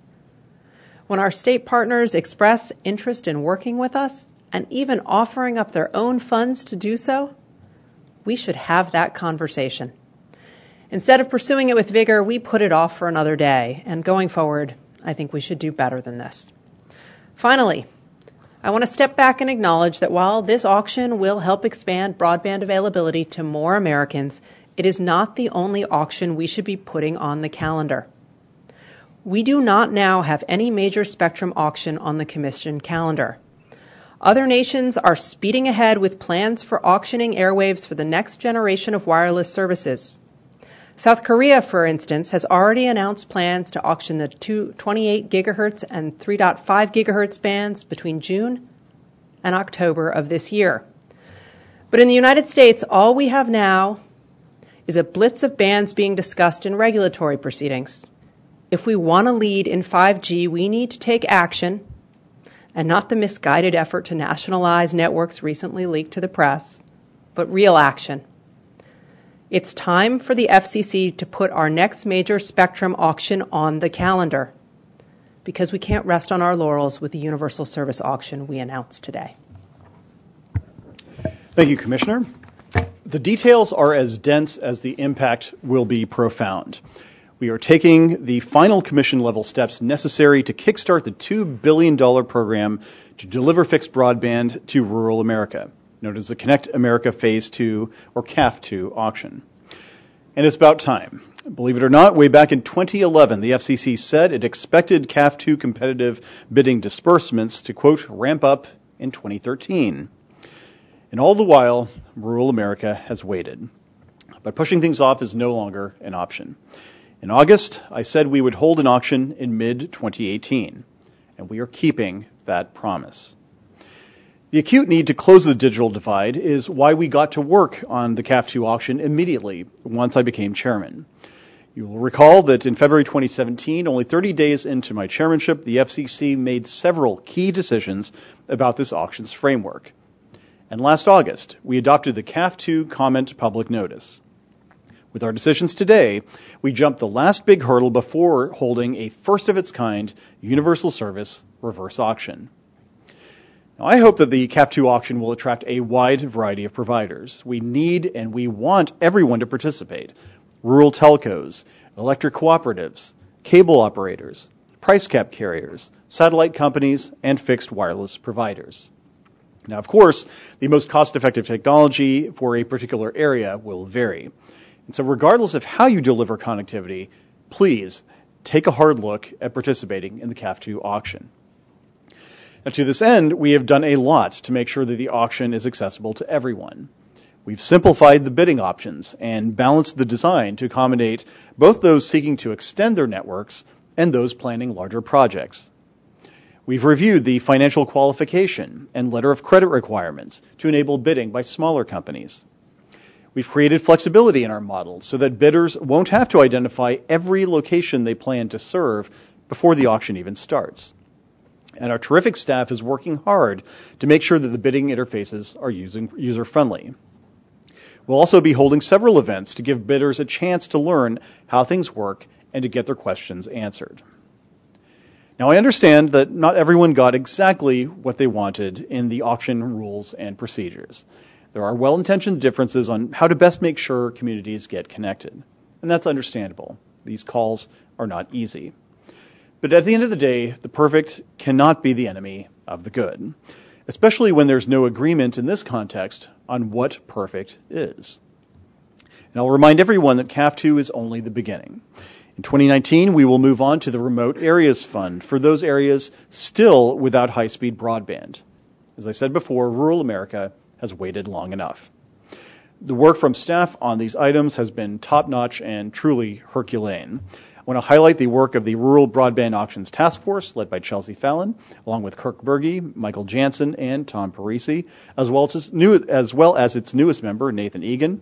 And thanks as well to the staff of the Wireline Competition Bureau, the Wireless Telecommunications Bureau, the International Bureau, the Office of Engineering and Technology, the Office of Strategic Planning and Policy Analysis, the Office of General Counsel, and last but not least, the Office of Managing Director, whose names, as you can see, are listed. They deserve our gratitude for the hard work that went into this item. As I said, we will now vote sequentially. The first item we will vote on is listed as item number three on your agenda, which has the delightful title of Connect America Fund Wireline Competition Docket Number 1090, ETC Annual Reports and Certifications, WC Docket Number 1458, Rural Broadband Experiments, WC Docket Number 14-259, Connect America Fund Phase 2 Auction, AU Docket Number 17182. Uh, Commissioner Clyburn. This is the recon. This is recon. Oh, you're just trolling me now. Have it your way. Uh, Commissioner Clyburn. if you say it again, I'll vote twice. I vote aye. Commissioner Riley. Approve in part and concur in part. Commissioner Carr. Approve. Uh, Commissioner Rosenworcel. Approve. Uh, the chair uh, votes to approve as well. Item number three is adopted with editorial privileges granted. Uh, we will now move to item number four, which has the title Connect America Fund Phase 2 auction scheduled for July 2014, uh, July 24th, 2018. Wow. Notice and filing requirements and other procedures for auction 903. Connect America Fund Phase 2 auction, AU docket number 17182. Connect America Fund WC docket number 1090. Commissioner Clyburn? Approve in part and concur in part. Commissioner Riley? Approve. Commissioner Carr? Approve. Commissioner Rosenworcel? Approve. The chair votes aye as well. The item is adopted with editorial privileges granted as requested. Thanks again to all of you for the fantastic work, and uh, look forward to July 24th. It'll be here before we know it. Thanks a lot. Uh, Madam Secretary, could you now take us to item number five on today's agenda? Mr. Chairman and Commissioners, the fifth item on your agenda will be presented by the Office of Managing Director and is entitled Establishment of the Office of Economics and Analytics. Mark Stevens, FCC Managing Director, will give the introduction. Thank you, uh, Madam Secretary. Mr. Stevens, welcome to the hot seat, and uh, the floor is yours whenever you're ready. Good afternoon, Mr. Chairman and Commissioners. Good afternoon. The Office of the Managing Director presents for your consideration an order to establish an Office of Economics and Analytics. I would like to start by thanking the Chairman's Working Group for their months of effort and hard work in support of this order.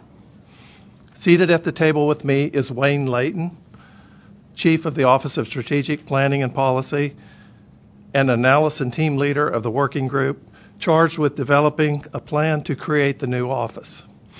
I also want to recognize the members of the Working Group. The group represents experienced staff from across the FCC, and in addition to Wayne, includes Mindy Ginsburg from OMD, Sasha Javid from the Wireless Telecommunications Bureau, Jay Schwartz from the Office of Chairman Pai, Royce Sherlock from the Office of General Counsel, Walt Strack from the International Bureau, and Roger Wook from the Wireline Competition Bureau. Over the course of more than seven months, this working group held 80 meetings with FCC staff and leadership, with former FCC officials, and with current and former officials from other federal agencies. The working group prepared a report that was made public earlier this month outlining recommendations both for creating the office as well as establishing practices that should be implemented to ensure that the new office can have the greatest impact possible on the FCC's work. Wayne will now present the item. Good afternoon, Mr. Chairman and Commissioners. This order takes several actions to establish and organize an Office of Economics and Analytics. The order proposes to amend the Commission's rules to reflect the new organizational structure, describe the office's functions and delegated authority, and make other conforming changes. These changes and the creation of this new office are designed to integrate economics and data analysis into the FCC's rulemakings and other actions in a comprehensive and thorough manner. The key objectives of this proposed organizational change are to expand and deepen the use of economic analysis in the Commission's policymaking, to enhance the development and use of auctions, and to implement consistent and effective agency wide data practices. To accomplish these objectives, the order would have the office made up of four divisions with responsibilities as follows. First, the Economic Analysis Division will provide analytical and quantitative support as needed to bureaus and offices engaged in rulemakings, transactions, auctions, adjudications, and other matters. Second, the Industry Analysis Division will shift the functions of the Industry Analysis and Technology Division in the Wireline Competition Bureau to the new office. The Industry Analysis Division will serve as the FCC's principal resource in designing and administering significant, economically relevant data collections used by a variety of bureaus and offices. Third, the Auctions Division will shift the functions of the Auctions and Spectrum Access Division in the Wireless Telecommunications Bureau to the new office. The Auctions Division will collaborate closely with the bureaus and offices and serve as the Commission's principal resource for all auction design and implementation issues. Finally, the Data Division will develop and implement best practices, processes, and standards for data management and assist bureaus and offices on specific data analysis projects. We recommend adoption of this order and request editorial privileges extending only to technical and conforming edits. Thank you. Thank you, Mr. Leighton. Mr. Stevens will now proceed to comments from the bench, beginning with Commissioner Clyburn. By establishing an Office of Economics and Analytics within the FCC, one might conclude that the Commission is laser focused on integrating neutral economic analysis into the work of this agency. But what the current administration is actually doing is putting in place a mechanism to justify its own interests while disregarding any analysis that run, runs counter to their views. For example, Where was the balanced, detailed economic analysis on the impact of edge providers, small businesses, and consumers when the FCC majority gutted the net neutrality protections last month? What about the analysis the FC majority, C majority relied on when they deregulated the $45 billion business data services market? And the recently adopted order authorizing use of next gen TV standard? Where was the enhanced deep analysis there? These orders represent three colossal market changing shifts that were devoid of any cost benefit analysis, weighing the cost to cons- consumers, both in the loss of services and access costs, against their flimsily philosophical touted benefit. And way, pray tell, in this three page order is the detailed economic analysis, cost benefit, that justifies reshuffling economists from their current positions within the various bureaus and offices to this new Office of Economics and Analytics. Will the creation of an office dedicated to economics lead us to look more closely at the economic impact of our actions on consumers and small businesses? We are left only to guess due to the lack of analysis in the draft. As the late Carlos Diaz Alejandro, the most prominent Latin American economist of his generation, once said, any economics graduate student can come up with any policy conclusion he desires by building appropriate assumptions into his model. My sense is the majority will continue the mix and bake this deregulatory feeding frenzy with the new office serving as icing on the cake all the while disrupting existing staff relationships, pulling employees from their current bureaus where they have established subject matter specific expertise, and plunking them down in a newly created bureaucratic structure. A long time has passed since my days in Dr. Ferry's economics class. A long, long time. But what I learned then is light years away from what is being applied now when it comes to critical rulemakings, transactions, auctions, adjudications, and other relevant matters. If past is prologue, the next 12 months of this administration, even with, with new offices, reconstituted titles, and reshuffled staff, will be just like the last. New design, self serving results. I dissent. Thank you, Commissioner. Commissioner O'Rielly.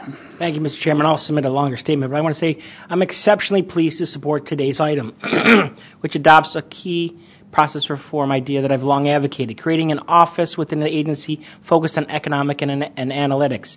Since receiving the chairman's draft item, I have worked with two goals in mind. First, guaranteeing that this office has enough weight and authority to ensure that it's successful from the outset. Second, ingraining it into the agency procedures to ensure that it outlasts the current commission and remains effective for years to come. In 2011, President Obama issued an executive order requiring all executive agencies to conduct cost benefit analysis before proposing or adopting regulations. But the FCC, as an independent agency, was excluded from this mandate, and promises made by long gone chairmen to abide by the directive never materialized. Unfortunately, the practical implications of this failure was a litany of shoddy decisions devoid of economic analysis adopted under previous commissions. For this reason, Chairman Pai proposed the creation of a new Office of Economic and, Anal- and Analytics to better align our work with concrete data and facts. When this item was circulated, I made several proposals, which Chairman Pai graciously accepted, to add additional responsibilities for the new office. Paramount to my changes is requiring OEA to prepare and review a rigorous, economically grounded cost benefit analysis for all rulemakings deemed to have an annual effect on the economy of 100 million or more. But ensuring that a cost benefit analysis is conducted is only a partial victory. We must also ensure that such an analysis is credible and accurate. To achieve this, I advocated requiring OEA to follow the guidelines of OMB Circular A4, which standardizes the way benefits and costs are measured and reported across executive agencies. However, due to the Commission resources that may be involved, I understand it may be prudent to get the office established before taking this important step. To that end, I look forward to continuing to work with the Chairman's office and Commission staff to get the office up and running and well positioned for us to incorporate Circular A4 into our rules down the road. Another edit I proposed and the chairman accepted was to add a requirement that, like the Office of General Counsel, OEA must confirm that it has reviewed each commission rulemaking to ensure that it's complete before it's released to the public.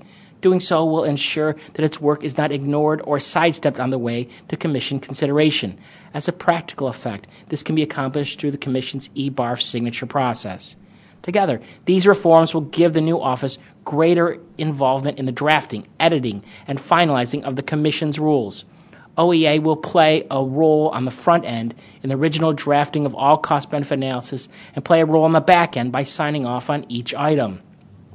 I believe that this heightened level of participation will help ensure that OEA gets get quickly ingrained into the chair, the commission's procedures, and the future chairman have less interested economics and analytics they'll be able to turn a blind eye to uh, as the real burdens that many of our rules impose. I'm confident that OEA will not create additional bureaucracy within the agency. When this item was originally circulated, it was unclear to me what the budgetary impacts of such an office would be. In speaking to the chairman's team, I've been assured that OEA will utilize the current resources of the commission rather than generate an enlarged commission.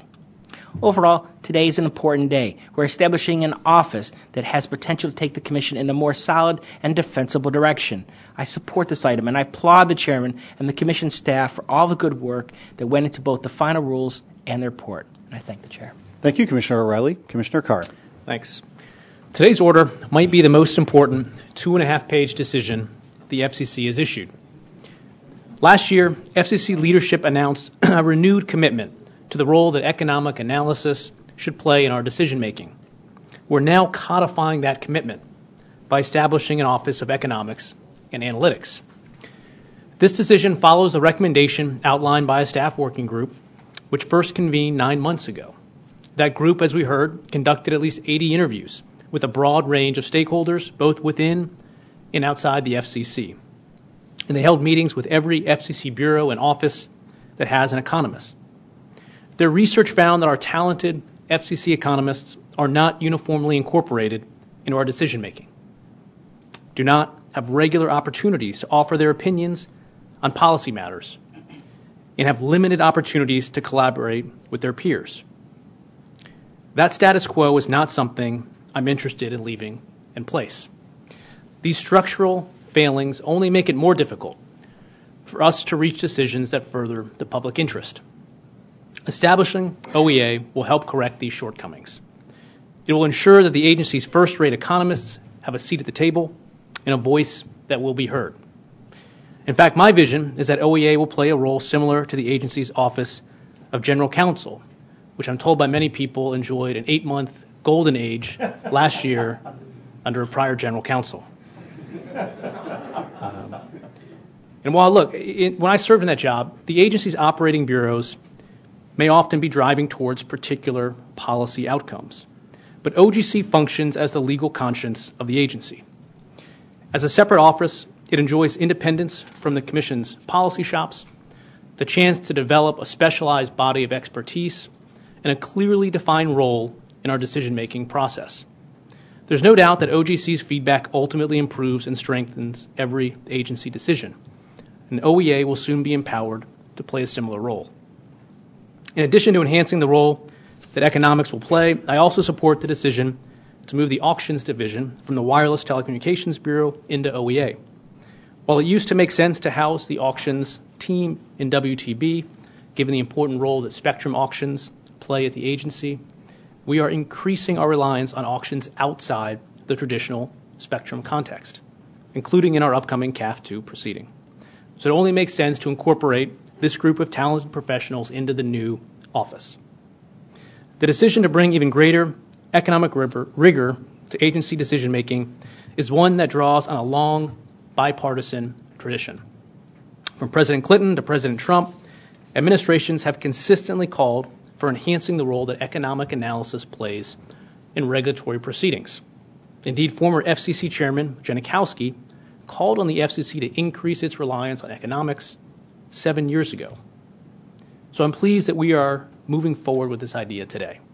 And I want to thank Wayne Leighton, who served, as we heard, as the team leader of the agency's working group, as well as the rest of the team, uh, the front row back there, uh, Mindy Ginsburg, Sasha Javid, Jay Schwartz, Royce Sherlock, Walt Strack, and Roger Wook for their service and contributions to that body. This item has my full support. Thank you, Commissioner. Commissioner Rosenworcel. With this decision, the FCC embarks on a big reorganization, and improving the day to day functioning of the agency is a laudable goal. I'm hopeful that the new Office of Economics and Analytics will positively contribute to the work of the agency. But I am dismayed that my most basic questions about what this office will entail have not been answered. How many people will the agency have in this office? Are we talking about 50 or 100 or 150? No one will answer. What does it mean to generally shift the functions of certain divisions? Does it mean disbanding some we have today? No one will answer. Will we be hiring new experts for this office or simply be relying on moving around those we have? No one will answer. This is striking. When I last voted on big institutional changes, the reorganization of our field offices, we had exacting numbers. We had very specific information. We knew precisely what these changes would mean for the agency, its staff, and its workload. I think it's irresponsible to vote on a conceptual reorganization, which is what we have here, without frank information about how we will populate this effort. I think this lack of transparency is problematic for the staff of this agency and the work it does. Having been refused this basic information, I dissent. That does not mean that I lack thoughts for what values should guide this agency as we move ahead. First, economic analysis plays an important role in all of our work. But we need to be mindful that we have legal duties that can be at odds with simple cost benefit analysis. The charge to ensure universal service in our most rural communities where populations are sparse and the cost of infrastructure is high do not easily fit through this prism. Likewise, we have duties to ensure broader access to modern communications through the Americans with Disabilities Act and the 21st Century Communications and Video Accessibility Act. How we navigate these efforts in light of this office deserves continued attention and vigilance. Second, we need to put a premium on peer review. Rigorous peer review of scientific and economic work has been encouraged and even required since President George W. Bush was in the White House. The FCC should not be relying on studies that do not feature peer review. We need to commit to this course right here and right now because it is unacceptable that so much of the economic work of this agency during the past year was not subject to any standard of peer review. Third, we need more transparency. We need to be honest about how much of the economic data presented to the FCC is advocacy. We want to avoid the risk of relying on numbers masquerading as fact when they simply add up to an effort to champion a desired outcome. There's a simple remedy. Anyone who appears before our Oversight Committee in the United States House of Representatives must file a truth in testimony disclosure. That disclosure asks for something simple Who are you representing? Who paid you to be here today? We should ask the same of those who put forward economic studies that are filed in our proceedings. Thank you, Commissioner. When I announced plans to strengthen the role of economics at the FCC, I identified several problems that I thought it was important to address. First, staff economists weren't guaranteed a seat at the policymaking table.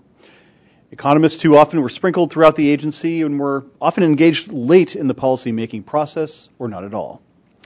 Secondly, notwithstanding a rapidly converging marketplace, economists worked in policy silos. Third, Cost benefit analysis was too often ignored. And fourth, data was not particularly well collected or managed across the agency.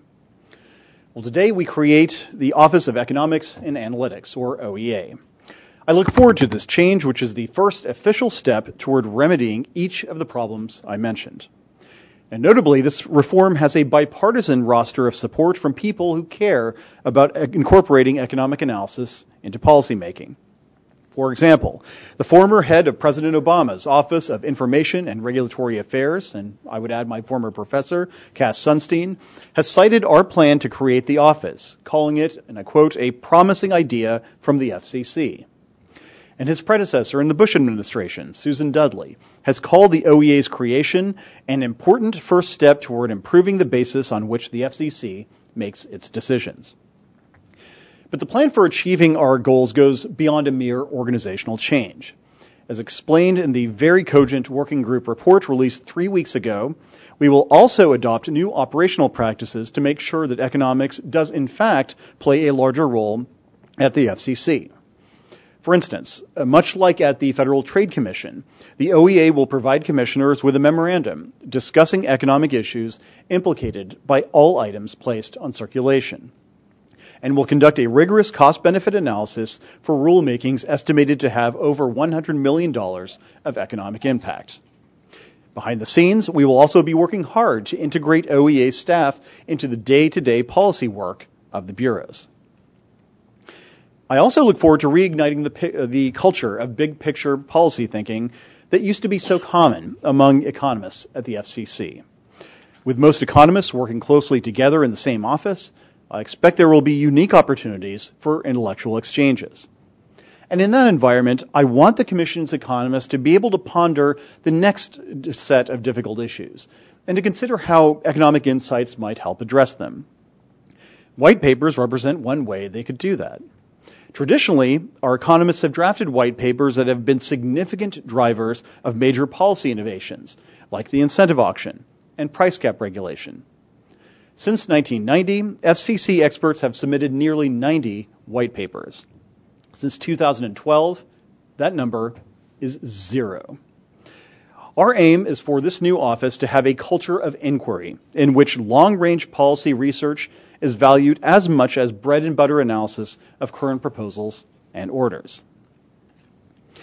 Now, some argue that our commitment to conducting cost benefit analysis is somehow an attack on the public interest standard set forth in the Communications Act. But thoughtful cost benefit analysis has historically been a bipartisan tradition. Both the Clinton and Obama administration, uh, administrations issued guidelines on this topic, guidelines which the Trump administration's Executive Order 13771 directs agencies to follow. And in 2011, President Obama's Job Council called for separation of economists from program offices, just as we are doing today, so that functions like cost benefit analysis could be carried out with integrity. Now, additionally, some say that if certain costs or benefits are hard to quantify, we shouldn't even try. But that view deeply misunderstands cost benefit analysis. Far from rejecting the public interest, interest standard, cost benefit analysis allows us to intelligibly apply it. And the alternative to trying to quantify costs and benefits is far worse.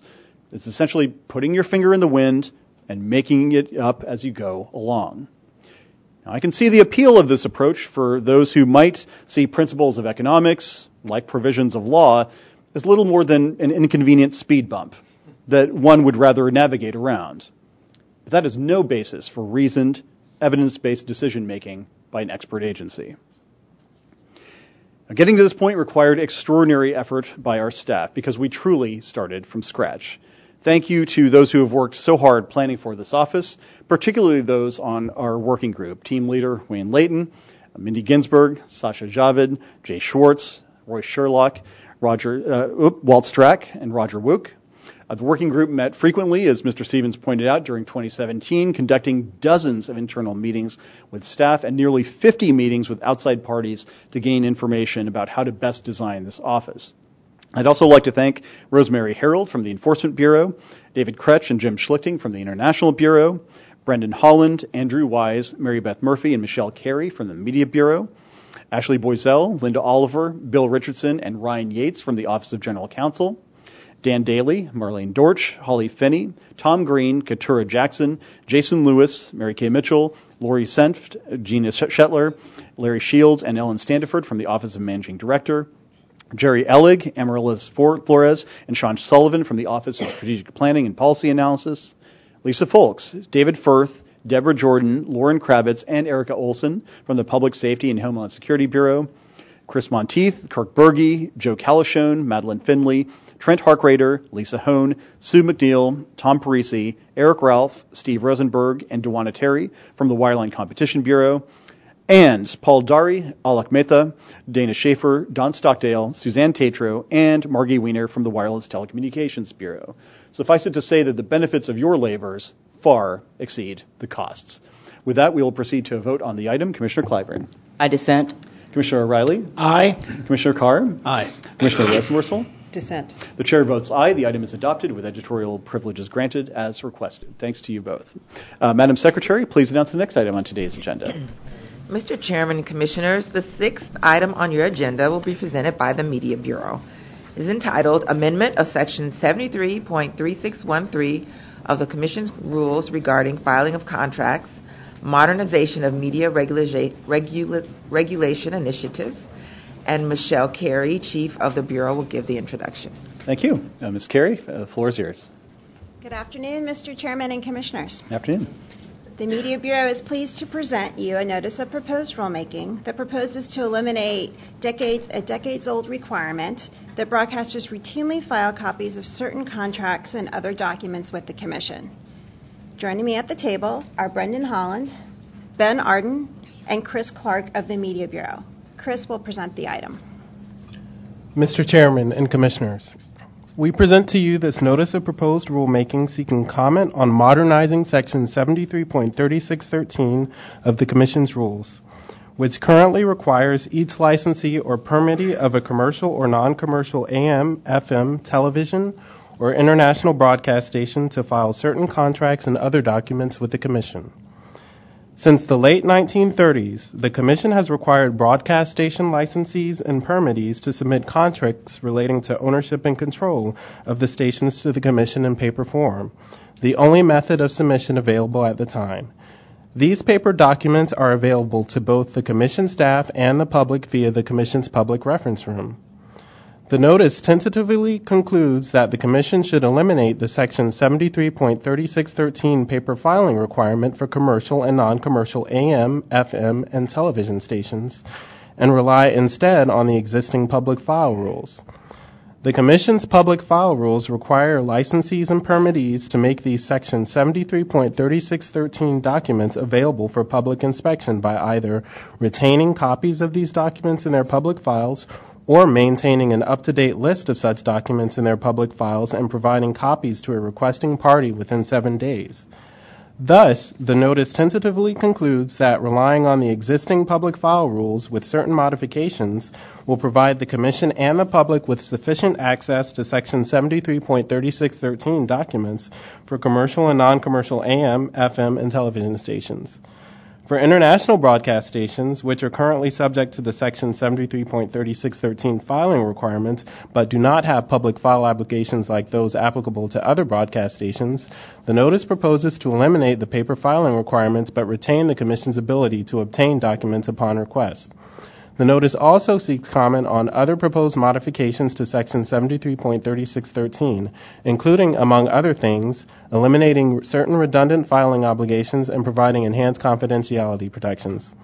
The Media Bureau recommends that the Commission adopt this notice of proposed rulemaking and requests editorial privileges to make any necessary technical or conforming edits. Thank you. Thank you, Mr. Clark. We'll now proceed to comments from the bench. Commissioner Clyburn. Some items need little explanation.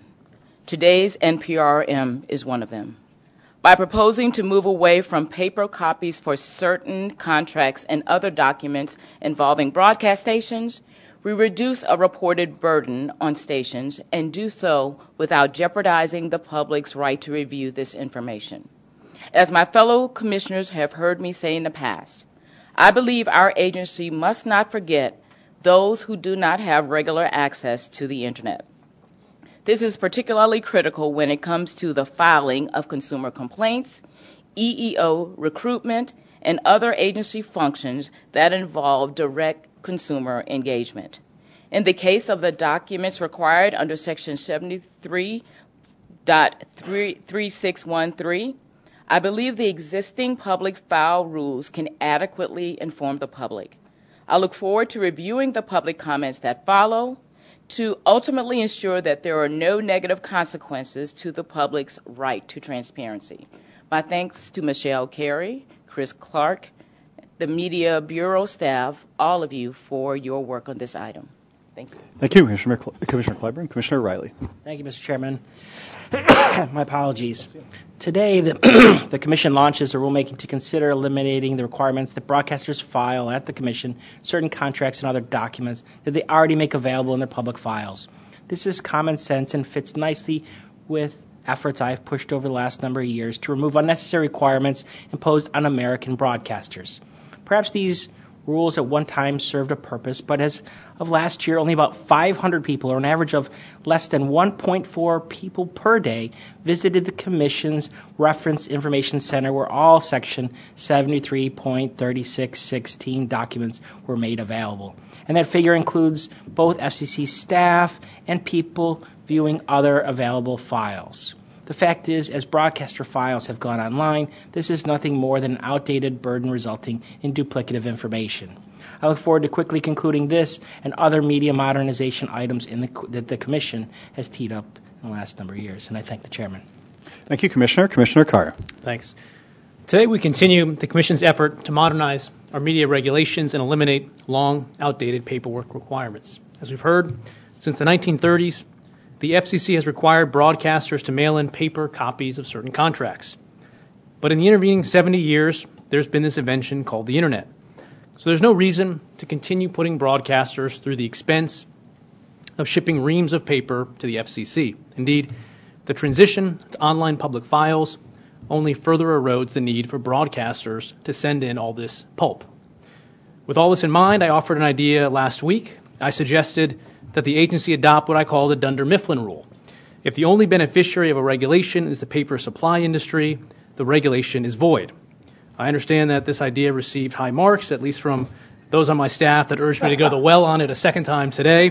So I'm glad I took their advice on that. Um, but I do think we might have our first test case of that rule, so I do want to thank my colleagues for moving so quickly to put it to use. I look forward to the Commission continuing its efforts to eliminate unnecessary filing requirements. Thank you for your work. Thank you, Commissioner. Commissioner Rosenworcel.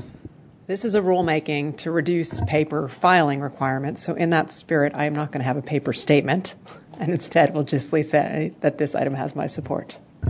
Thank you, Commissioner. Uh, back in 1939, The Wizard of Oz first hit the silver screen. In that same year, the FCC began requiring broadcast station licensees and permittees to file with us hard copies of certain contracts and other documents relating to station ownership and operation. And many, of course, still consider The Wizard of Oz to be a timeless classic and one of the greatest films of all time. But our broadcast contract filing rules have not aged as gracefully.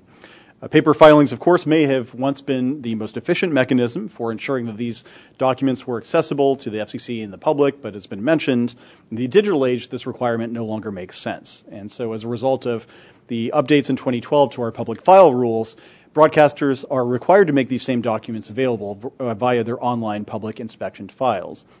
Online access, I stress, would continue even if we ultimately eliminate the paper filing requirement. So I'd like to thank the dedicated staff that worked on this notice uh, Ben Arden, Michelle Carey, Chris Clark, Martha Heller, Brendan Holland, and Mary Beth Murphy of the Media Bureau, and Susan Aaron and Dave Consul from the Office of General Counsel. And thanks for your thanks in advance for uh, your future efforts as we continue to follow the yellow brick road to our destination, a modernized set of media regulations. You had to know I was going to go there as a Kansan. I will now proceed to a vote on the item. Commissioner Clyburn. Aye. Commissioner O'Rielly. Aye. Commissioner Carr. Aye. Commissioner Rosenworcel. Aye. And the chair votes aye as well. The item is adopted with editorial privileges granted as requested. Thanks very much. Uh, Madam Secretary, could you please announce the next item on the agenda? Mr. Chairman and Commissioners, the final item on your agenda today is an Enforcement Bureau action, and Rosemary Harold, Chief of the Bureau, will give the introduction. Thank you, Madam Secretary. Uh, because this item is an enforcement related matter, we're going to switch things around as we traditionally have done.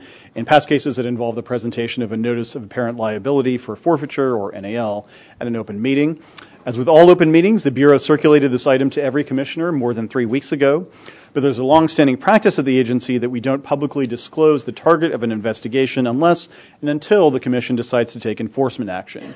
So for this item, this means that the agency formally votes on the item, then here's a brief presentation from the Bureau, and then, and only then, proceeds to any statements that the commissioners may have. This process ensures that the target will not be publicly disclosed until the FCC has voted to take action. We're going to follow that precedent here, and so we will proceed directly to a vote on the item. Commissioner Clyburn? Aye. Commissioner O'Rielly? Aye. Commissioner Carr? Aye. Commissioner Rosenworcel? Aye. Chair votes aye as well. The item is adopted with editorial privileges to be granted, as I expect will be requested in short order. Uh, Ms. Harold, please proceed. Thank you. Good afternoon, Mr. Chairman and Commissioners. Thank you for your consideration and for your vote on today's item. A notice of apparent liability for forfeiture addressing a rural health care program service provider's apparent violations of the Communications Act and the Commission's rules. With me at the table is Keith Morgan, Deputy Chief of the Bureau, Rakesh Patel, Director of the Bureau's USF anti fraud team, and two of its investigative counsels, Mary Beth DeLuca and David Sabatkin. Their extensive investigation led to today's item. Mary Beth will now present it. Thank you, Rosemary. Good morning, Mr. Chairman and Commissioners. This notice of apparent liability and order proposes a penalty in the amount of $18,715,405 against DataConnex, a rural health care service provider that received millions of dollars in USF funds in apparent violation of the telecommunication program's competitive bidding and urban rate rules, as well as sections 201 and 254 of the Communications Act.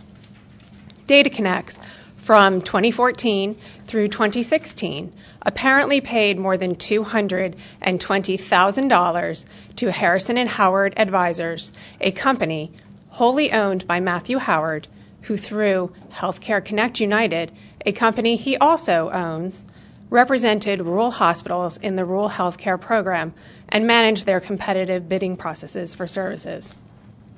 DataConnex held itself out to hospitals as just another service provider, and Healthcare Connect United held itself out as just an independent representative whose loyalty was only to the rural hospitals. However, the evidence shows that DataConnex and Healthcare Connect United apparently developed coordinated plans and strategies designed to target rural healthcare providers and undermine the basic fairness required of competitive bidding. The evidence shows that DataConnex apparently encouraged hospitals to retain Healthcare Connect United as their consultant prior to the initiation of the competitive bidding process. In many instances, after Healthcare Connect United was retained to help manage the bid process, DataConnex was awarded contracts by these hospitals. The evidence further shows that in at least six instances, DataConnex apparently paid Harrison and Howard advisors additional sums of money on contracts DataConnex was awarded once those hospitals began paying DataConnex for services. The Bureau determined that the rural hospitals were not aware of the financial relationship between DataConnex and Howard and his companies. The urban rates offered by DataConnex, which are used to calculate the amount of USF support a rural healthcare program participant receives, were apparently forged, false, misleading, and unsubstantiated. The evidence shows that in issuing its urban rate letters, DataConnex relied upon sales quotes purportedly issued by AT&T, but which apparently did not exist. The evidence shows that DataConnex apparently sought supporting documentation for some of its urban rates only after the auditors with the Universal Service Administrative Company requested these documents to support these urban rates. The evidence further shows that DataConnex apparently artificially deflated its urban rates to increase the USF funds it received by relying on only portions of the costs associated with these services instead of the total cost of these services. As a result of its apparent conduct, DataConnex was apparently awarded telecommunications contracts through an apparently tainted competitive bidding process and received millions of dollars from the USF to which it was not entitled. The Enforcement Bureau supports the Commission's adoption of this item and requests editorial privileges for technical and conforming edits. Thank you. Thank you, Ms. DeLuca, for the presentation, and to all of you for the investigation that led to this result. Uh, Commissioner Clyburn, any comments uh, you care to make? Yes, I do, Mr. Chairman.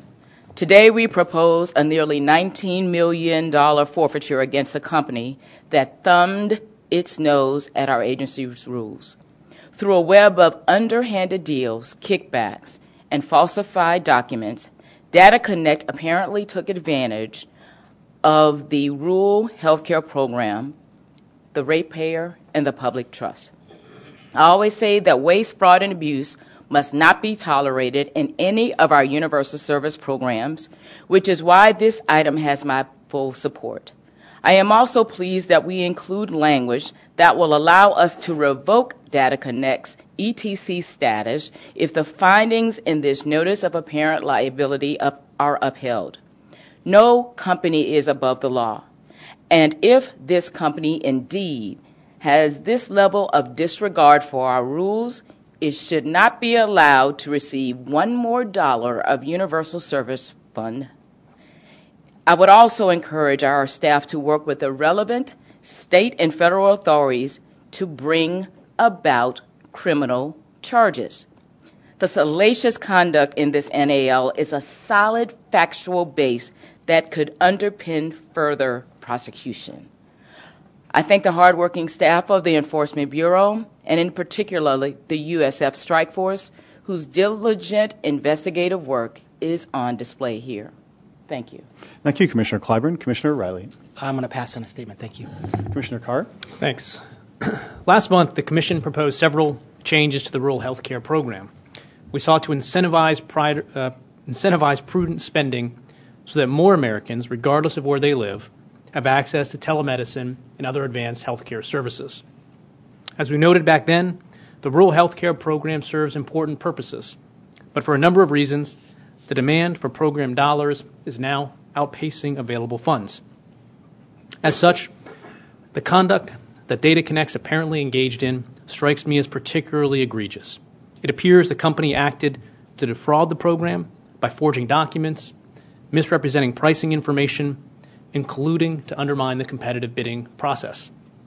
Over the past two years, DataConnex received about $12 million in support from the program. This made it one of the top five funding recipients over that period of time. And recall that demand for program dollars exceeded the cap for the first time last year. So this means that DataConnex' apparently fraudulent scheme might have resulted in providers that are playing by the rules and the potentially millions of consumers they serve losing out on the valuable healthcare services made possible by the program. Needless to say, we're not taking this conduct lightly. So I support the $18 million proposed fine, and I want to thank the Enforcement Bureau for its diligent work. Having read through the item, I can tell you all put a tremendous amount of effort into this, and I think rightly so. Um, and thank you for prosecuting the case. The item has my support. Thank you, Commissioner. Commissioner Rosenworcel. Thank you to the Enforcement Bureau for your efforts. And in the interest of getting to lunch, I'm going to say no statement at this time. Lunch is for suckers. Abuse of the rural health care program is especially egregious, among other reasons, because every dollar stolen through fraud is a dollar not used to bring telehealth services to rural and remote areas. And so I'm pleased that we're taking aggressive action against a company that we believe sought to scam the system. As we've heard, we allege that DataConnex uh, flagrantly violated competitive bidding rules, falsified documents, and manipulated rates to inflate the funding that it received. This conduct deserves a stiff penalty. And if the allegations set forth in the notice of apparent liability are confirmed to be accurate, one will be imposed. And the saying goes, fool me once, shame on you. Fool me twice, shame on me. Well, DataConnex is the second notice of apparent liability that we've adopted in the past year involving the rural healthcare program. And this case again highlights the need for us to review that program. Just last month, we adopted a notice of proposed rulemaking to explore ways that we can stop waste, fraud, and abuse in this program. This is especially critical because the program is hitting its current funding cap. So thank you, as my colleagues have done too, to the excellent uh, staff for the legwork on this case. Uh, from the Enforcement Bureau, Rizwan Chowdhury, Mary Beth DeLuca, Loyaan Egal, Rosemary Harold, Keith Morgan, Rakesh Patel, David Sabatkin, and Jeff Starks. Uh, from the Wireline Competition Bureau as well, Regina Brown, Radhika Karmarkar, and Preston Wise. And from the Office of General Counsel, Jim Bird, Billy Layton, Linda Oliver, Bill Richardson, and Sally Stone. We really appreciate your efforts. Uh, no vote is necessary. We, we already having voted. So would my colleagues like to make any announcements at this time? Commissioner Clyburn? Yes, uh, thank you. I would like to uh, introduce two and I use the word loosely, spring uh, semester um, interns. Uh, and if they would stand up, they don't want to, but I will ask them to do so, or, or I will lock the door on them. Um, anyway, so I'd like to, I know it's, it's a rough day, yeah. Um, I would like to introduce Joseph uh, Karens and, and Pooja Tulani, who have joined my office uh, during the again the spring semester. Joseph is a second year law student at American University, and he joins my office if he looks familiar. Um, after interning in the Enforcement Bureau Investigations and Hearings Division. In his spare time, uh, Joseph likes developing photos taken on his analog camera. Our, yeah, I, I, love that. Um, and Pooja is a second year law student also at American U and joins my office after interning in the Wireless Telecommunications Bureau Auctions and Spectrum Division. Pooja, proud to say, is a South Carolina native, an active member of Girls on the Run, and in her spare time enjoys traveling, cooking, and trying new fitness classes around DC. She will soon be my BFF um, because I haven't been doing that lately. But I want to welcome the two of them to the office. They are an incredible addition. Thank you, Mr. Chairman. Thank you, uh, Commissioner Clyburn. Anybody else? Uh, Commissioner Carr? Uh, two sets of announcements. I uh, want to start with spring interns as well, and then turn to some staff changes in my office. Starting with the interns, I want to introduce uh, two of our spring interns, Angelica Lau and Paul St. Clair. And part of the initiation is you do have to stand up uh, for the entire time that we talk about you. Uh, I'll start with Angelica. She grew up in Honolulu and went to the University of Hawaii for undergrad, where she studied finance and English. And she's now a 2L at George Mason University and already has several internships under her belt. She's interned in the Wireline Competition Bureau as well as the Consumer Financial Protection Bureau. So, welcome to the office. And our second intern is Paul. Paul went to college at Tulane, is now a 2L at my alma mater, Catholic University, where he's enrolled in the Communications Law program. And before fully committing to a life in telecom, Paul tested the waters by working at Microsoft in their Washington, D.C. office, and he most recently served as an intern at NTIA. We're glad to have both of you for the semester. Thanks. Uh, and then turning to the staff changes, I want to introduce uh, a new member of my team, Will Adams. He also has to go through the process of standing. Um, Will has joined my office as legal advisor for wireless issues. Will brings a strong legal and policy background to the job, having worked in all three branches of the federal government in addition to the private sector. Uh, after starting his career at the Department of Justice, Will clerked for Judge Tymkovich on the 10th Circuit, and he also served as chief of staff to Representative Justin Amash before he became president of Red Door Strategies. Most recently, Will worked in public finance at Morgan Stanley on infrastructure matters. He graduated from Harvard Law School, where he served as president of the Federalist Society and received his undergrad from Georgetown. So we're glad that Will's joined the office. Uh, we're going to really lean on his strategic advice and counsel, uh, particularly as we look to continue to put policies in place on wireless infrastructure. And uh, also, Andy Rohn has joined my office as staff assistant. Uh, Andy helped get my office up and running last August, so I'm delighted that she has returned to the office on a full time basis. Uh, although I now owe the Public Safety Bureau something in exchange for this, I, I believe. Since return to the FC 2014, Andy served in various roles, including most recently as staff assistant to the chief of the Public Safety and Homeland Security Bureau. And in prior FCC service, Andy served as the special assistant to the chief of the Wireless Telecommunications Bureau. So we're glad to have her in the office as well. Uh, and finally, one of our advisors has been promoted up and out of my office. So I'll let the chairman uh, speak to that, but I can say she's a standout lawyer, uh, extremely talented, and just want to thank her for her service and let the chairman do the announcement. Uh, well, thank you, uh, Commissioner. Before I get to that, I did want to announce a departure. Uh, Tom Parisi, I don't know if he's still here. Oh, there he is in the back. Uh, so Tom uh, has served at the commission since 2013, so a little over five, almost five years.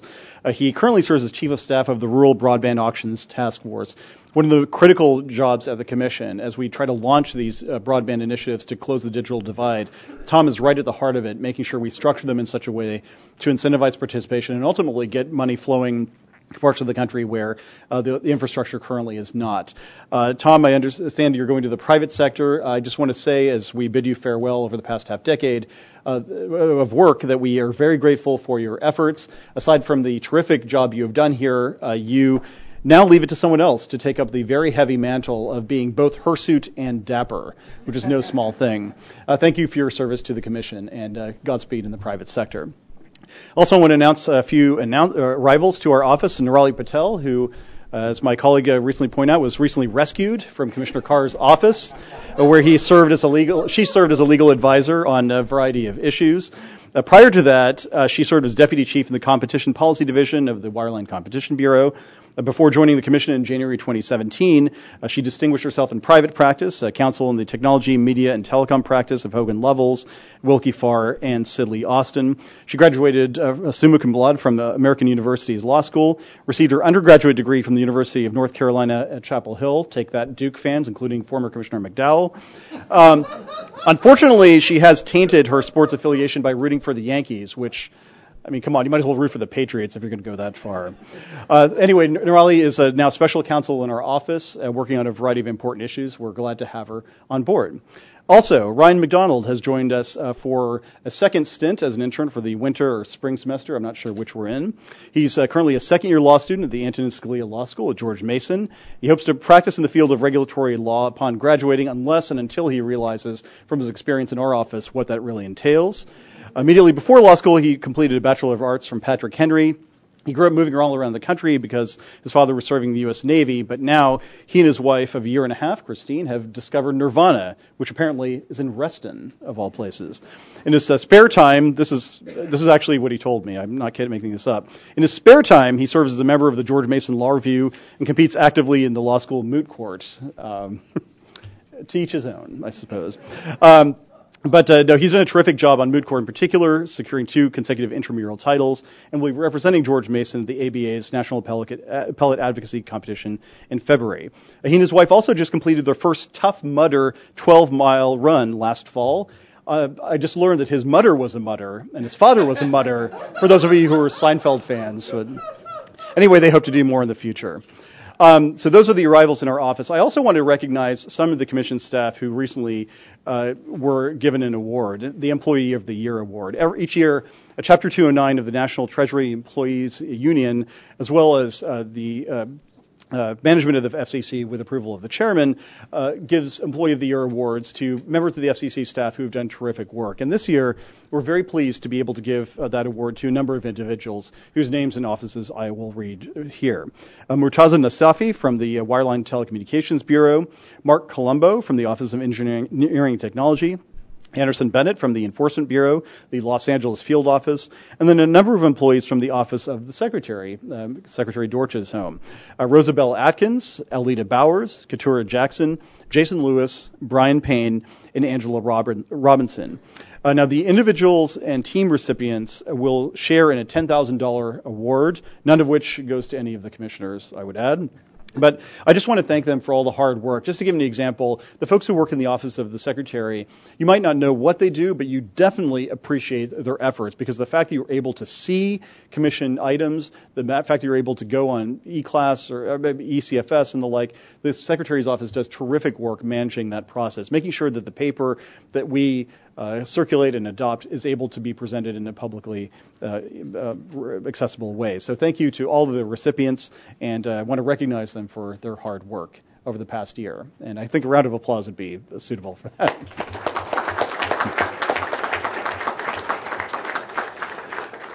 Among the other responsibilities of the Office of the Secretary is for the Secretary herself to announce the next agenda meeting of the Federal Communications Commission, which I will now ask her to do. The next agenda meeting of the Federal Communications Commission is Thursday, February 22nd, 2018. That's, we are adjourned. Bless you.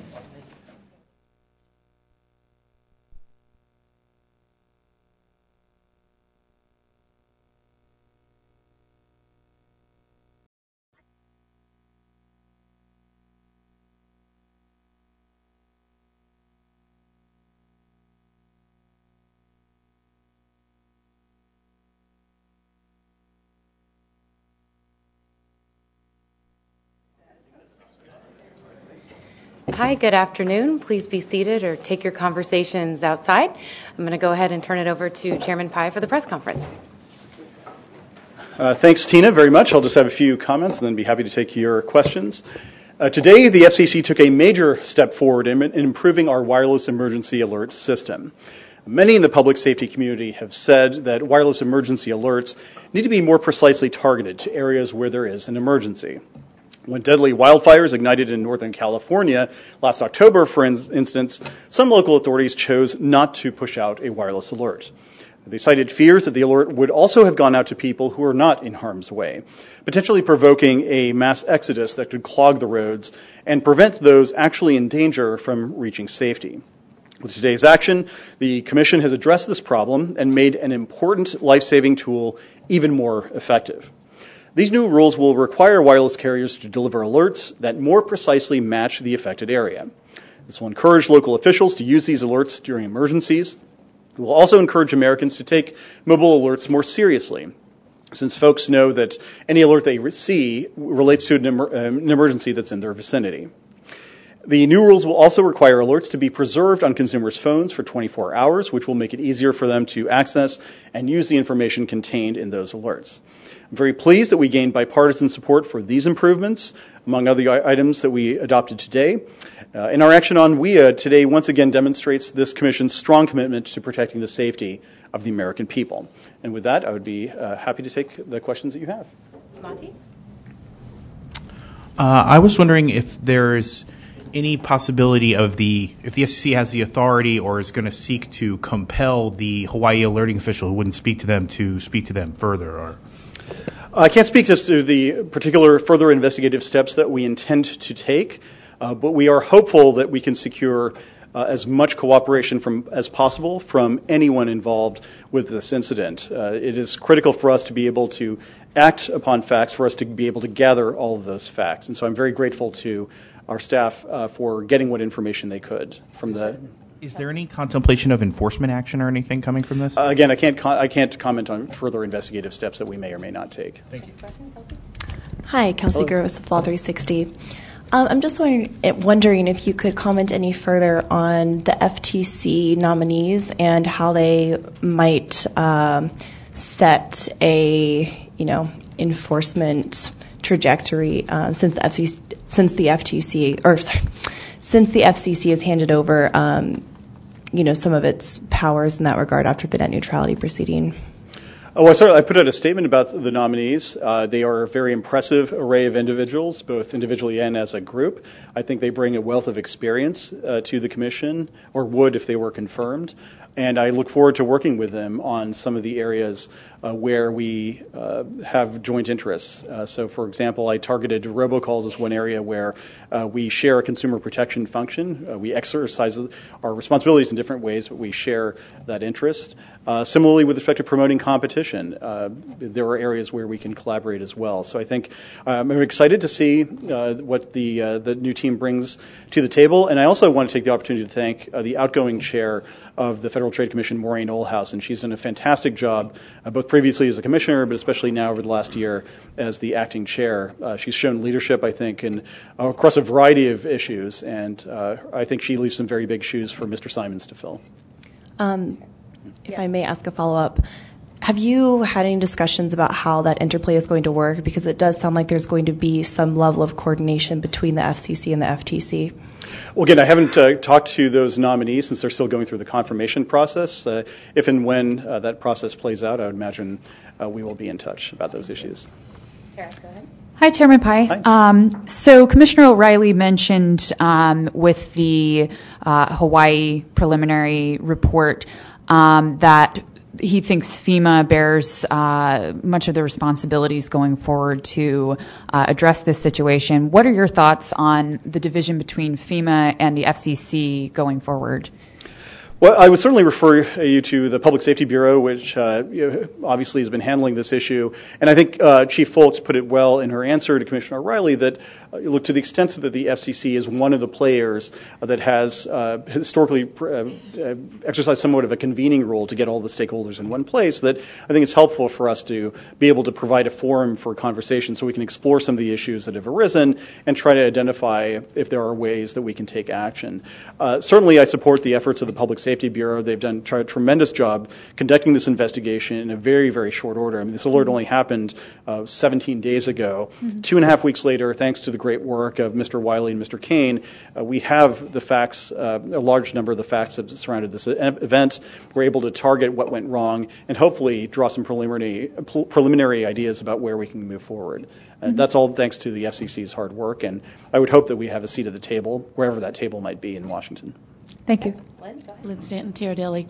You mentioned that today's enforcement action was the second in this particular area uh, within a year.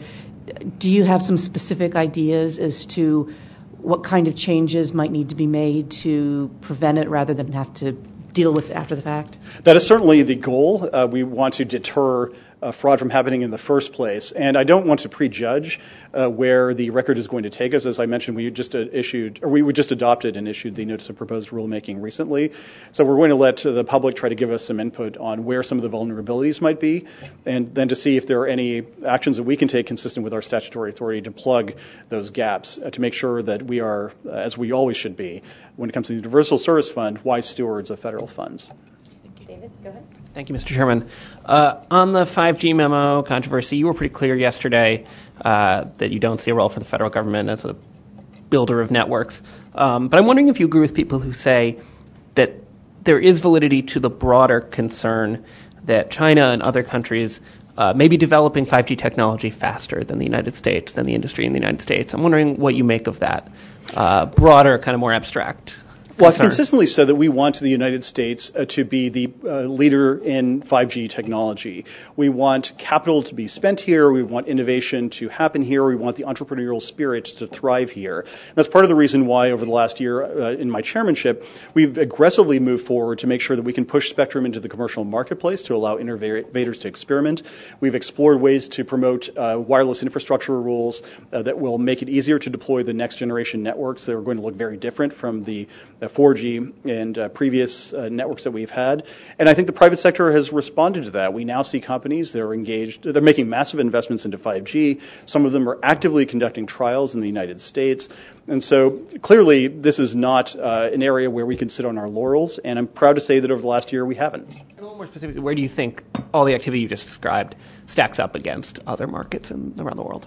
Well, I think we are leading uh, the world in 5G, but it's, there's no easy way to quantify this. But I, what I will say is if you judge it from the priority we place on this issue as well as the activity that we have conducted in order to meet that priority, that I think uh, we are doing what we can to assert U.S. leadership in 5G. Okay.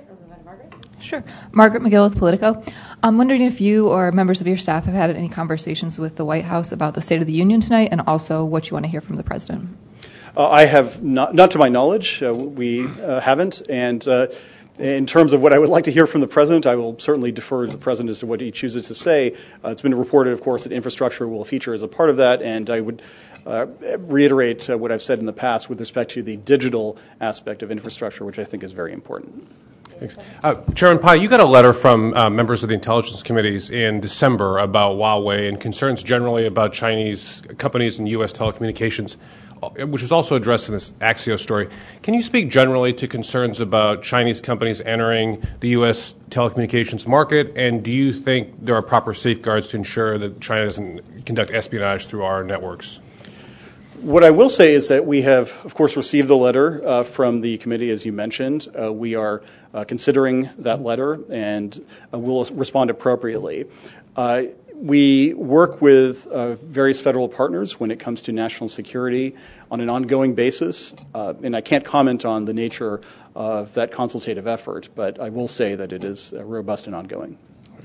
per Representative Pallone's letter request, the GAO plans to look GAO plans to look at the reliability of some of the advanced net neutrality public comment.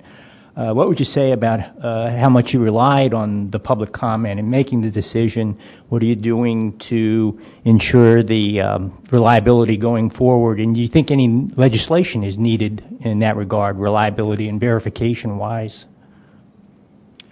Uh, in terms of uh, what we relied upon, uh, you can see for yourself in the text of the order that we adopted uh, that we relied on uh, what the courts have consistently called substantial evidence, that are comments that substantively and meaningfully grappled with the issues that we uh, teed up in the notice of proposed rulemaking. And so, in that regard, our decision making process relied on those comments that were that were in the record that were substantive.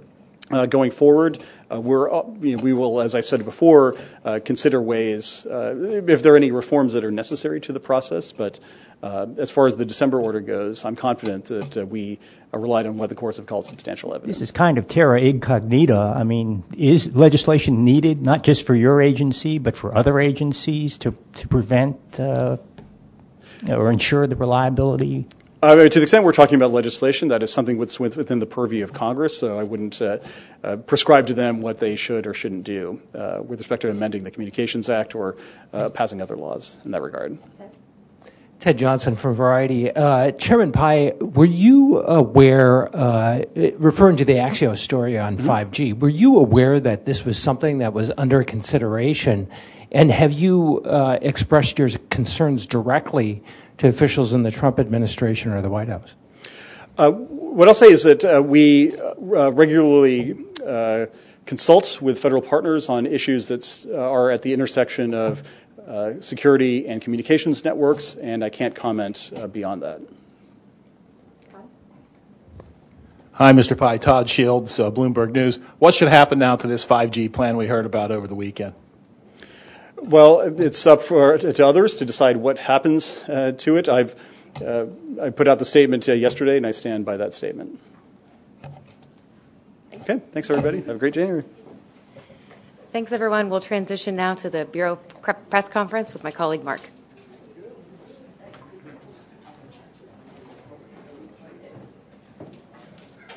Okay, greetings. Um, let's just go through by bureaus. Are there any questions regarding the uh, public safety presentation or the wireless emergency alerts? Monty, okay, public safety?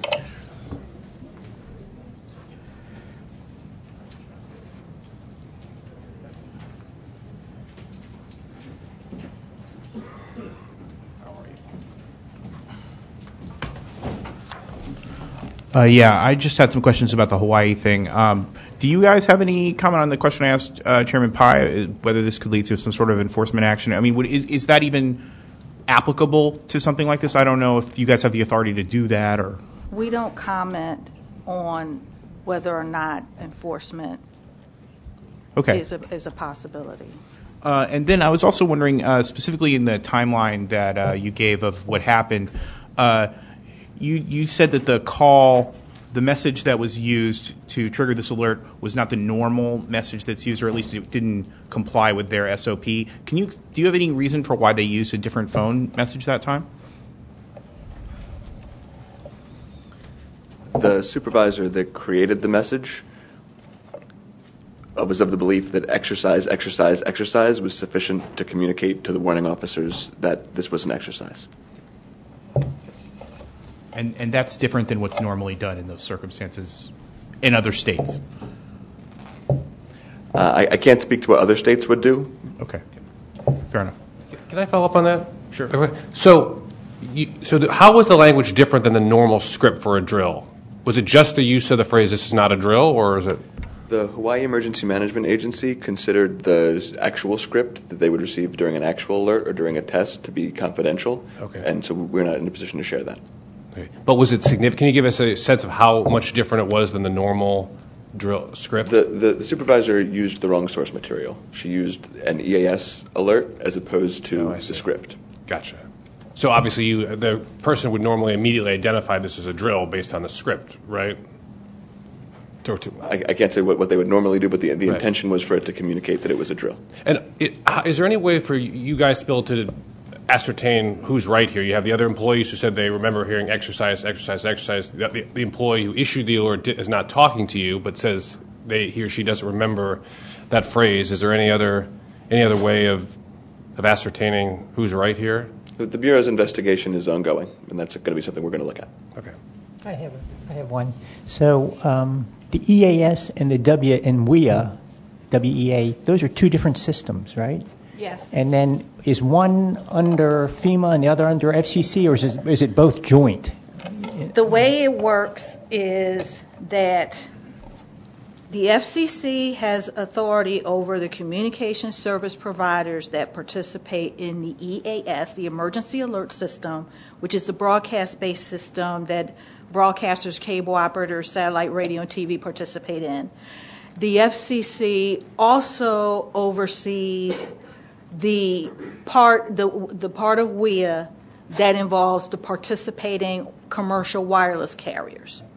FEMA over has an what they call an integrated public alert and warning system and they administer that that is the system that alert originators send uh, would send their alerts through that system and then that and then the, the alert gets sent to the communication service providers over a secure pathway.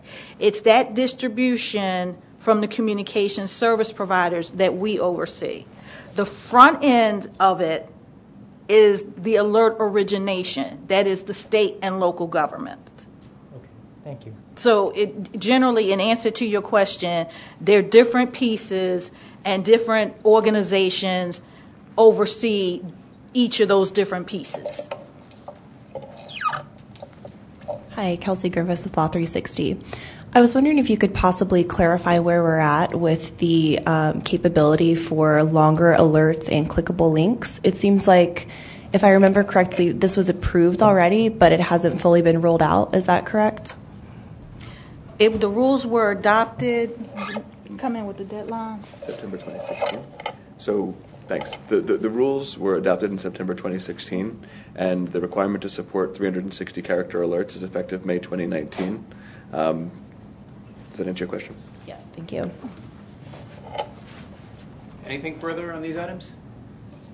Thank you very much. Uh, next is the, is the uh, Connect America Fund items. Are there questions for on the Connect America Fund? Uh, Lynn? Okay. Uh, so I guess wireless and wireline. Mm-hmm.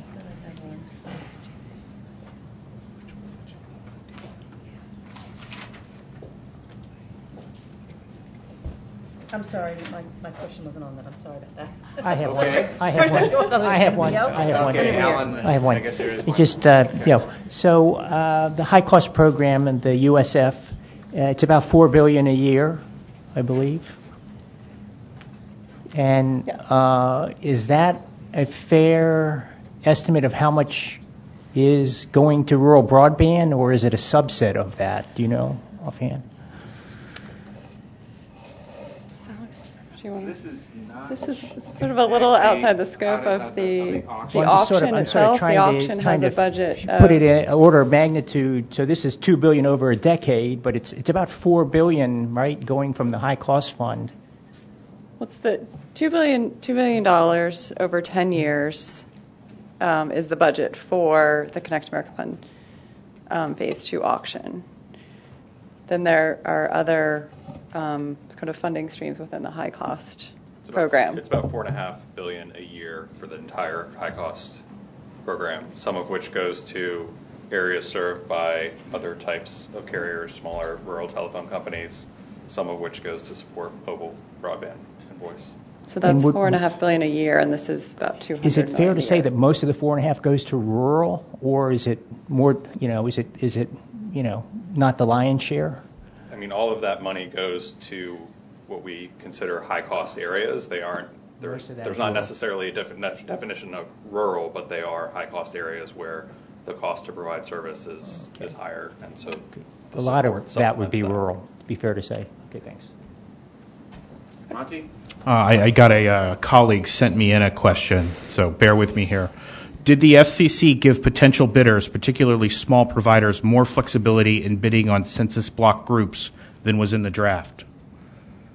Um, the commission had proposed in the comment PN using um, census block groups for bidding, and so pa- basically packaging the um, grouping the eligible census blocks within a census block group um, together for um, purposes of bidding, and that is um, the decision that um, as, was adopted in this procedures public notice. Thank you. I, I hope that's right. Anything further on this item?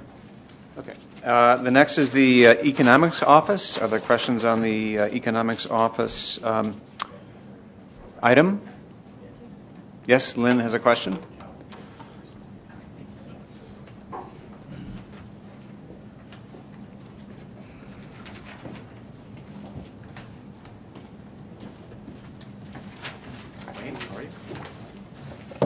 Hi, Lynn Stanton, Daily.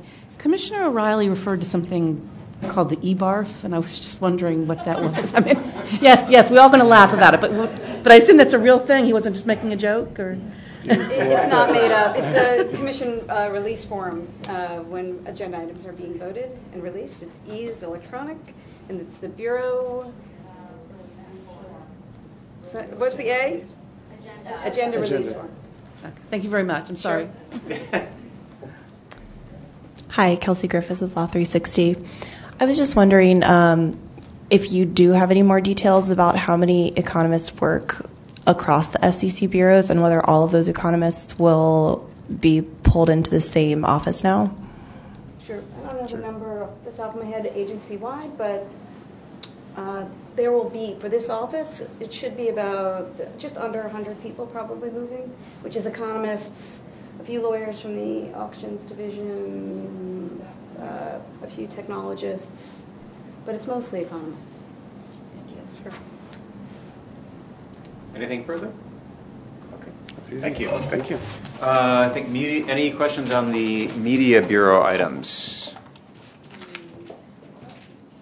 Okay. Uh, Finally, the last item was the uh, Enforcement Bureau action. Any, will any have a question on that? Okay.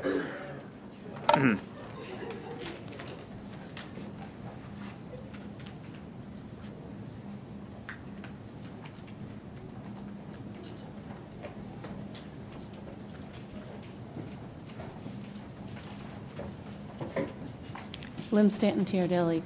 Um, Could you explain a little bit more about what the company was doing with the pricing and how that was affecting what it was getting? I thought I heard Mary Lucas say that it was deflating, which didn't make sense to me, but maybe I misheard. I can describe that process a little bit.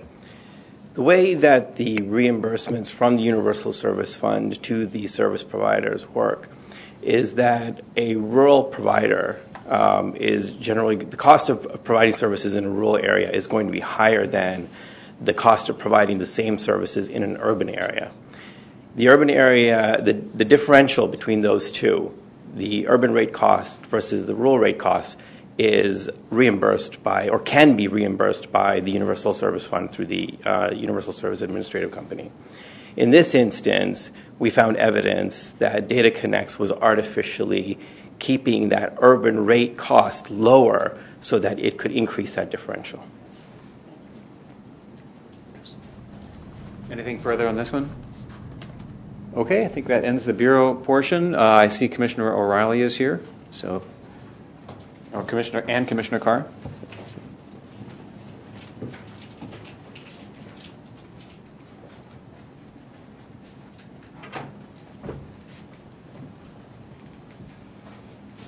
Questions for us on this fine day? On the 5G proposal or leak plan that came out Sunday, had either one of you ever heard about this before, or do you think this is something that's been taken seriously by the White House or is still being taken seriously? Uh, to answer your first question, no. As the first I heard of it was the story I saw, as you saw. So as the first I had had any conversation, and I've had no conversations with the White House since then. So I don't know what they're planning to do with it. Didn't seem like it went very well uh, yesterday, but I'll, I'll defer to them. Uh, yeah, I don't have any input as to where it is in the, the White House's decision-making process. Like I said, um, I haven't had any input in developing the idea. Sure. And Can you just speak to all the, the sort of initial hurdles? I mean, I know you both put out statements, but in terms of the massive costs, the government have, you know, this, the issue of would the government even have enough spectrum to do this on its own? Well, the ban that the document is, that I saw that, that's been made public was indicating is the 3742, which I've been spending a ton of time trying to free up uh, for commercial services. So whether that's sufficient uh, for running a full 5G network is unclear. Uh, we're trying to work through those issues as it relates to 3.5 and partnering, you know, trying to find spectrum in 3.1 space, uh, and then obviously 3.7 to 4.2. So trying to make a full plate of spectrum available in the mid band for a 5G type play or other type services. Uh, but so whether that one band could be enough, I, I don't know what how they envisioned it and have had no conversations with them. Uh, it depends on how robust you want certain things and how much capability you want. Uh, depend how much spectrum you may need at that particular uh, spectrum band. Who's, who, well, Monty will come back. Uh, Commissioner Rosenworcel, since the Hawaii thing, has brought up a bunch of reforms she wants for EAS procedures, uh, maybe but she wants best practices and things. Do you have any uh, comment on some of the stuff she's proposing? Well, I would just um, highlight there is a statute enacted by Congress in 2016, signed by the president, that governs a lot of the things that, that she was indicating that she would like to see happen. They already have those requirements. They're run, uh, supposed to be run by FEMA. If they aren't occurring, that's a question you should ask them on what, what what's happening. But there are best practices, there's coordination, there's outreach, all of that part that Chief Fowlkes talked about, the beginning part of the horse, where the seems to be the back end of the horse. Uh, uh, so, but uh, but so the front end of the part is, is all the things that that's the FEMA portion of the equation that I was trying to get at. And so, well, she, the, the ideas that she's put forward, I, I, think, are already in statute. And well, if they're not being done sufficiently, that's uh, for Congress to look at or other folks to, to examine, in my opinion. I have nothing on it. Commissioner Rosenworcel was there. I'm sure she can, can speak to it. Uh, commissioners, what do you see as the FCC's next role, uh, next steps uh, for enabling telehealth uh, innovations? So we have some funding issues we've got to work through. In my opinion, we have to deal with the cap that we've reached on rural health care. Uh, that that is being examined by the commission right now. I've highlighted my viewpoints on, on the good work that's being done in Alaska. I don't want to see that being trampled on as we try and figure out. But I'm also cognizant of what the budget uh, implications are for for raising the cost there, and, and looking to see if we can't offset that elsewhere. So I think that is probably front and center. Some of the other pieces that I've talked about globally is how do we deal with the fact that we're only one component of telehealth. We, you know, we may provide uh, rural connectivity, uh, but a lot of the telehealth pieces are done by other agencies, and we don't see any. We're, we're spending. Uh, people are expecting a lot out of the FCC in terms of the dollar figure, uh, but we don't see any of the savings part in terms of healthcare reform, in terms of you know savings you can get from telehealth, telemedicine type services. So I, think that at some point there's going to have to be a larger conversation on how these things work together, and not you know not everything is going to come from us. Uh, and certainly we got to either get credit for some of it, or we've got to address the budgetary issues because it's continue. Uh, we've reached the cap. It's only going to continue to bang uh, up against that uh, as we go forward, in my opinion. Yeah, we had that item uh, last month that started looking at some of the issues with the rural health care program. I want to see that proceeding continue to develop, see the comments there. Um, you know, more broadly, you know, we also have to look, as I've talked a lot about, how do we, you know, remove these barriers, make it less costly for providers to deploy in these areas? I think this is where potentially 5G could come in, uh, some fixed wireless solutions, and so we have to continue to reform our infrastructure deployment rules to make it less costly to provide services in these communities. Thank you guys. All right, we stumped you all. Have a good lunch.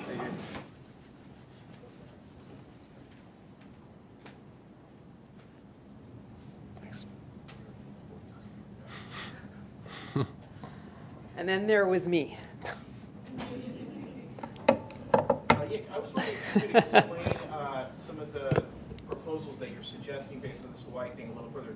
You you've said a few times that you want to uh, combine the daisy chain and the uh, and the FEMA alert. Can you explain what, what exactly you mean by that? Sure. Um, I saw this coming. Uh, I have a, I have some stronger ties to Hawaii, I think, than some of my colleagues, in that I had the privilege of working for Senator Inouye for some time. So I had the ability to speak with people who I long ago worked with in the aftermath of this attack. And it was just harrowing to hear their stories. It is impossible to imagine what they went through during that 38 minute period. And coming out of those discussions, we started to look at what we could do here at the FCC.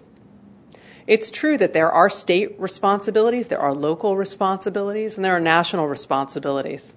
And our jurisdiction does not extend to cover them all. It's also clear that our colleagues at FEMA through the IPAWS system have a lot of authority in this area. And that relates to what I've described before as the daisy chain system, which has been used as an older process that is different from the alert aggregator system they have, which is more modern. But I think the most important thing is this the FCC has a requirement that states file EAS plans with this agency. They have to annually confirm those plans and they have to report to us when they make changes in those plans. What we should do right now is use that fact to compel states to follow best practices that we identify as the result of our investigation so that this never happens again. The fact that states have an obligation to file those plans with this agency is important. And I think we have a responsibility to make sure they're updated to reflect the kinds of best practices that will prevent this from happening again. Have you gotten any, any reaction to that proposal from the chairman's office? It's my hope that if I keep repeating it, I will remind everyone that in fact that obligation exists. And it is a useful way to try to compel change. And we see what just happened. I think that's something we should all want to do. I know obviously it's not your call as to whether Congress changes the law or not, but what do you think about Senator Schatz's proposal that we the government takes the responsibility for nuclear alerts out of the hands of state officials and makes it a federal responsibility? I think Senator Schatz is doing, doing a terrific job trying to draw attention to this issue and looking at complex questions like the one you just described. I think the most important thing for Hawaii right now is that we commit to getting this done in short order. You know, disasters like this, we can forget about them over time, and we cannot do that for the people of Hawaii or anyone else who might be impacted by a false alert in the future. So I think the most important thing that happens right now is that we actually commit to getting something done in short order. Hi, Kelsey Griffiths at Law 360. Um, I was wondering if you could give us some more details about the roadblocks that you encountered in the creation of the Office of Economics. We asked a lot of questions of our colleagues. They refused to answer them. We asked how many people would be moved in this agency. They refused to tell us. We asked what divisions might be shut down or collapsed. They refused to tell us. We asked the count of individuals who would be moved and what would be the broader impact on the rest of the agency and its responsibilities. They refused to tell us. At some point, you have to acknowledge that it's irresponsible to vote on a substantial reorganization without knowing its details. The last major reorganization of this agency involved the closure of field offices. I voted on the closure of those field offices. We knew down to a person what the impact would be on this agency. I do not understand why they refuse to support the other offices and supply that information right now. I think it's important when we make conceptual changes that we actually understand how we're going to populate them. Moreover, I think going forward, it's important that we look at the tasks that this new office is assigned and make sure that when we look at economic analysis, it is subject to peer review. Whatever we rely on should be subject to peer review. It's also important that we do something that our colleagues at the House of Representatives require, which is with every piece of testimony that is filed, you need to say who supported it, who spent for your advocacy today. That's an easy thing for us to file when we serve here at the agency, but they require that of anyone with any association with industry. And I think going forward, the Office of Economic Advocacy needs to require that. And just to follow up on that, is that normal anywhere else in the FCC? I do not believe it is, but I think that normally when we have, for instance, legal authorities come in and advocate on behalf of a client, they make clear who that client is as a matter of regular practice. We should require the same of any economic analysis that is submitted to this agency. That is a basic matter of transparency, and I hope it's a principle that the office will apply going forward. Thank you. Lynn Stanton, TR Daily.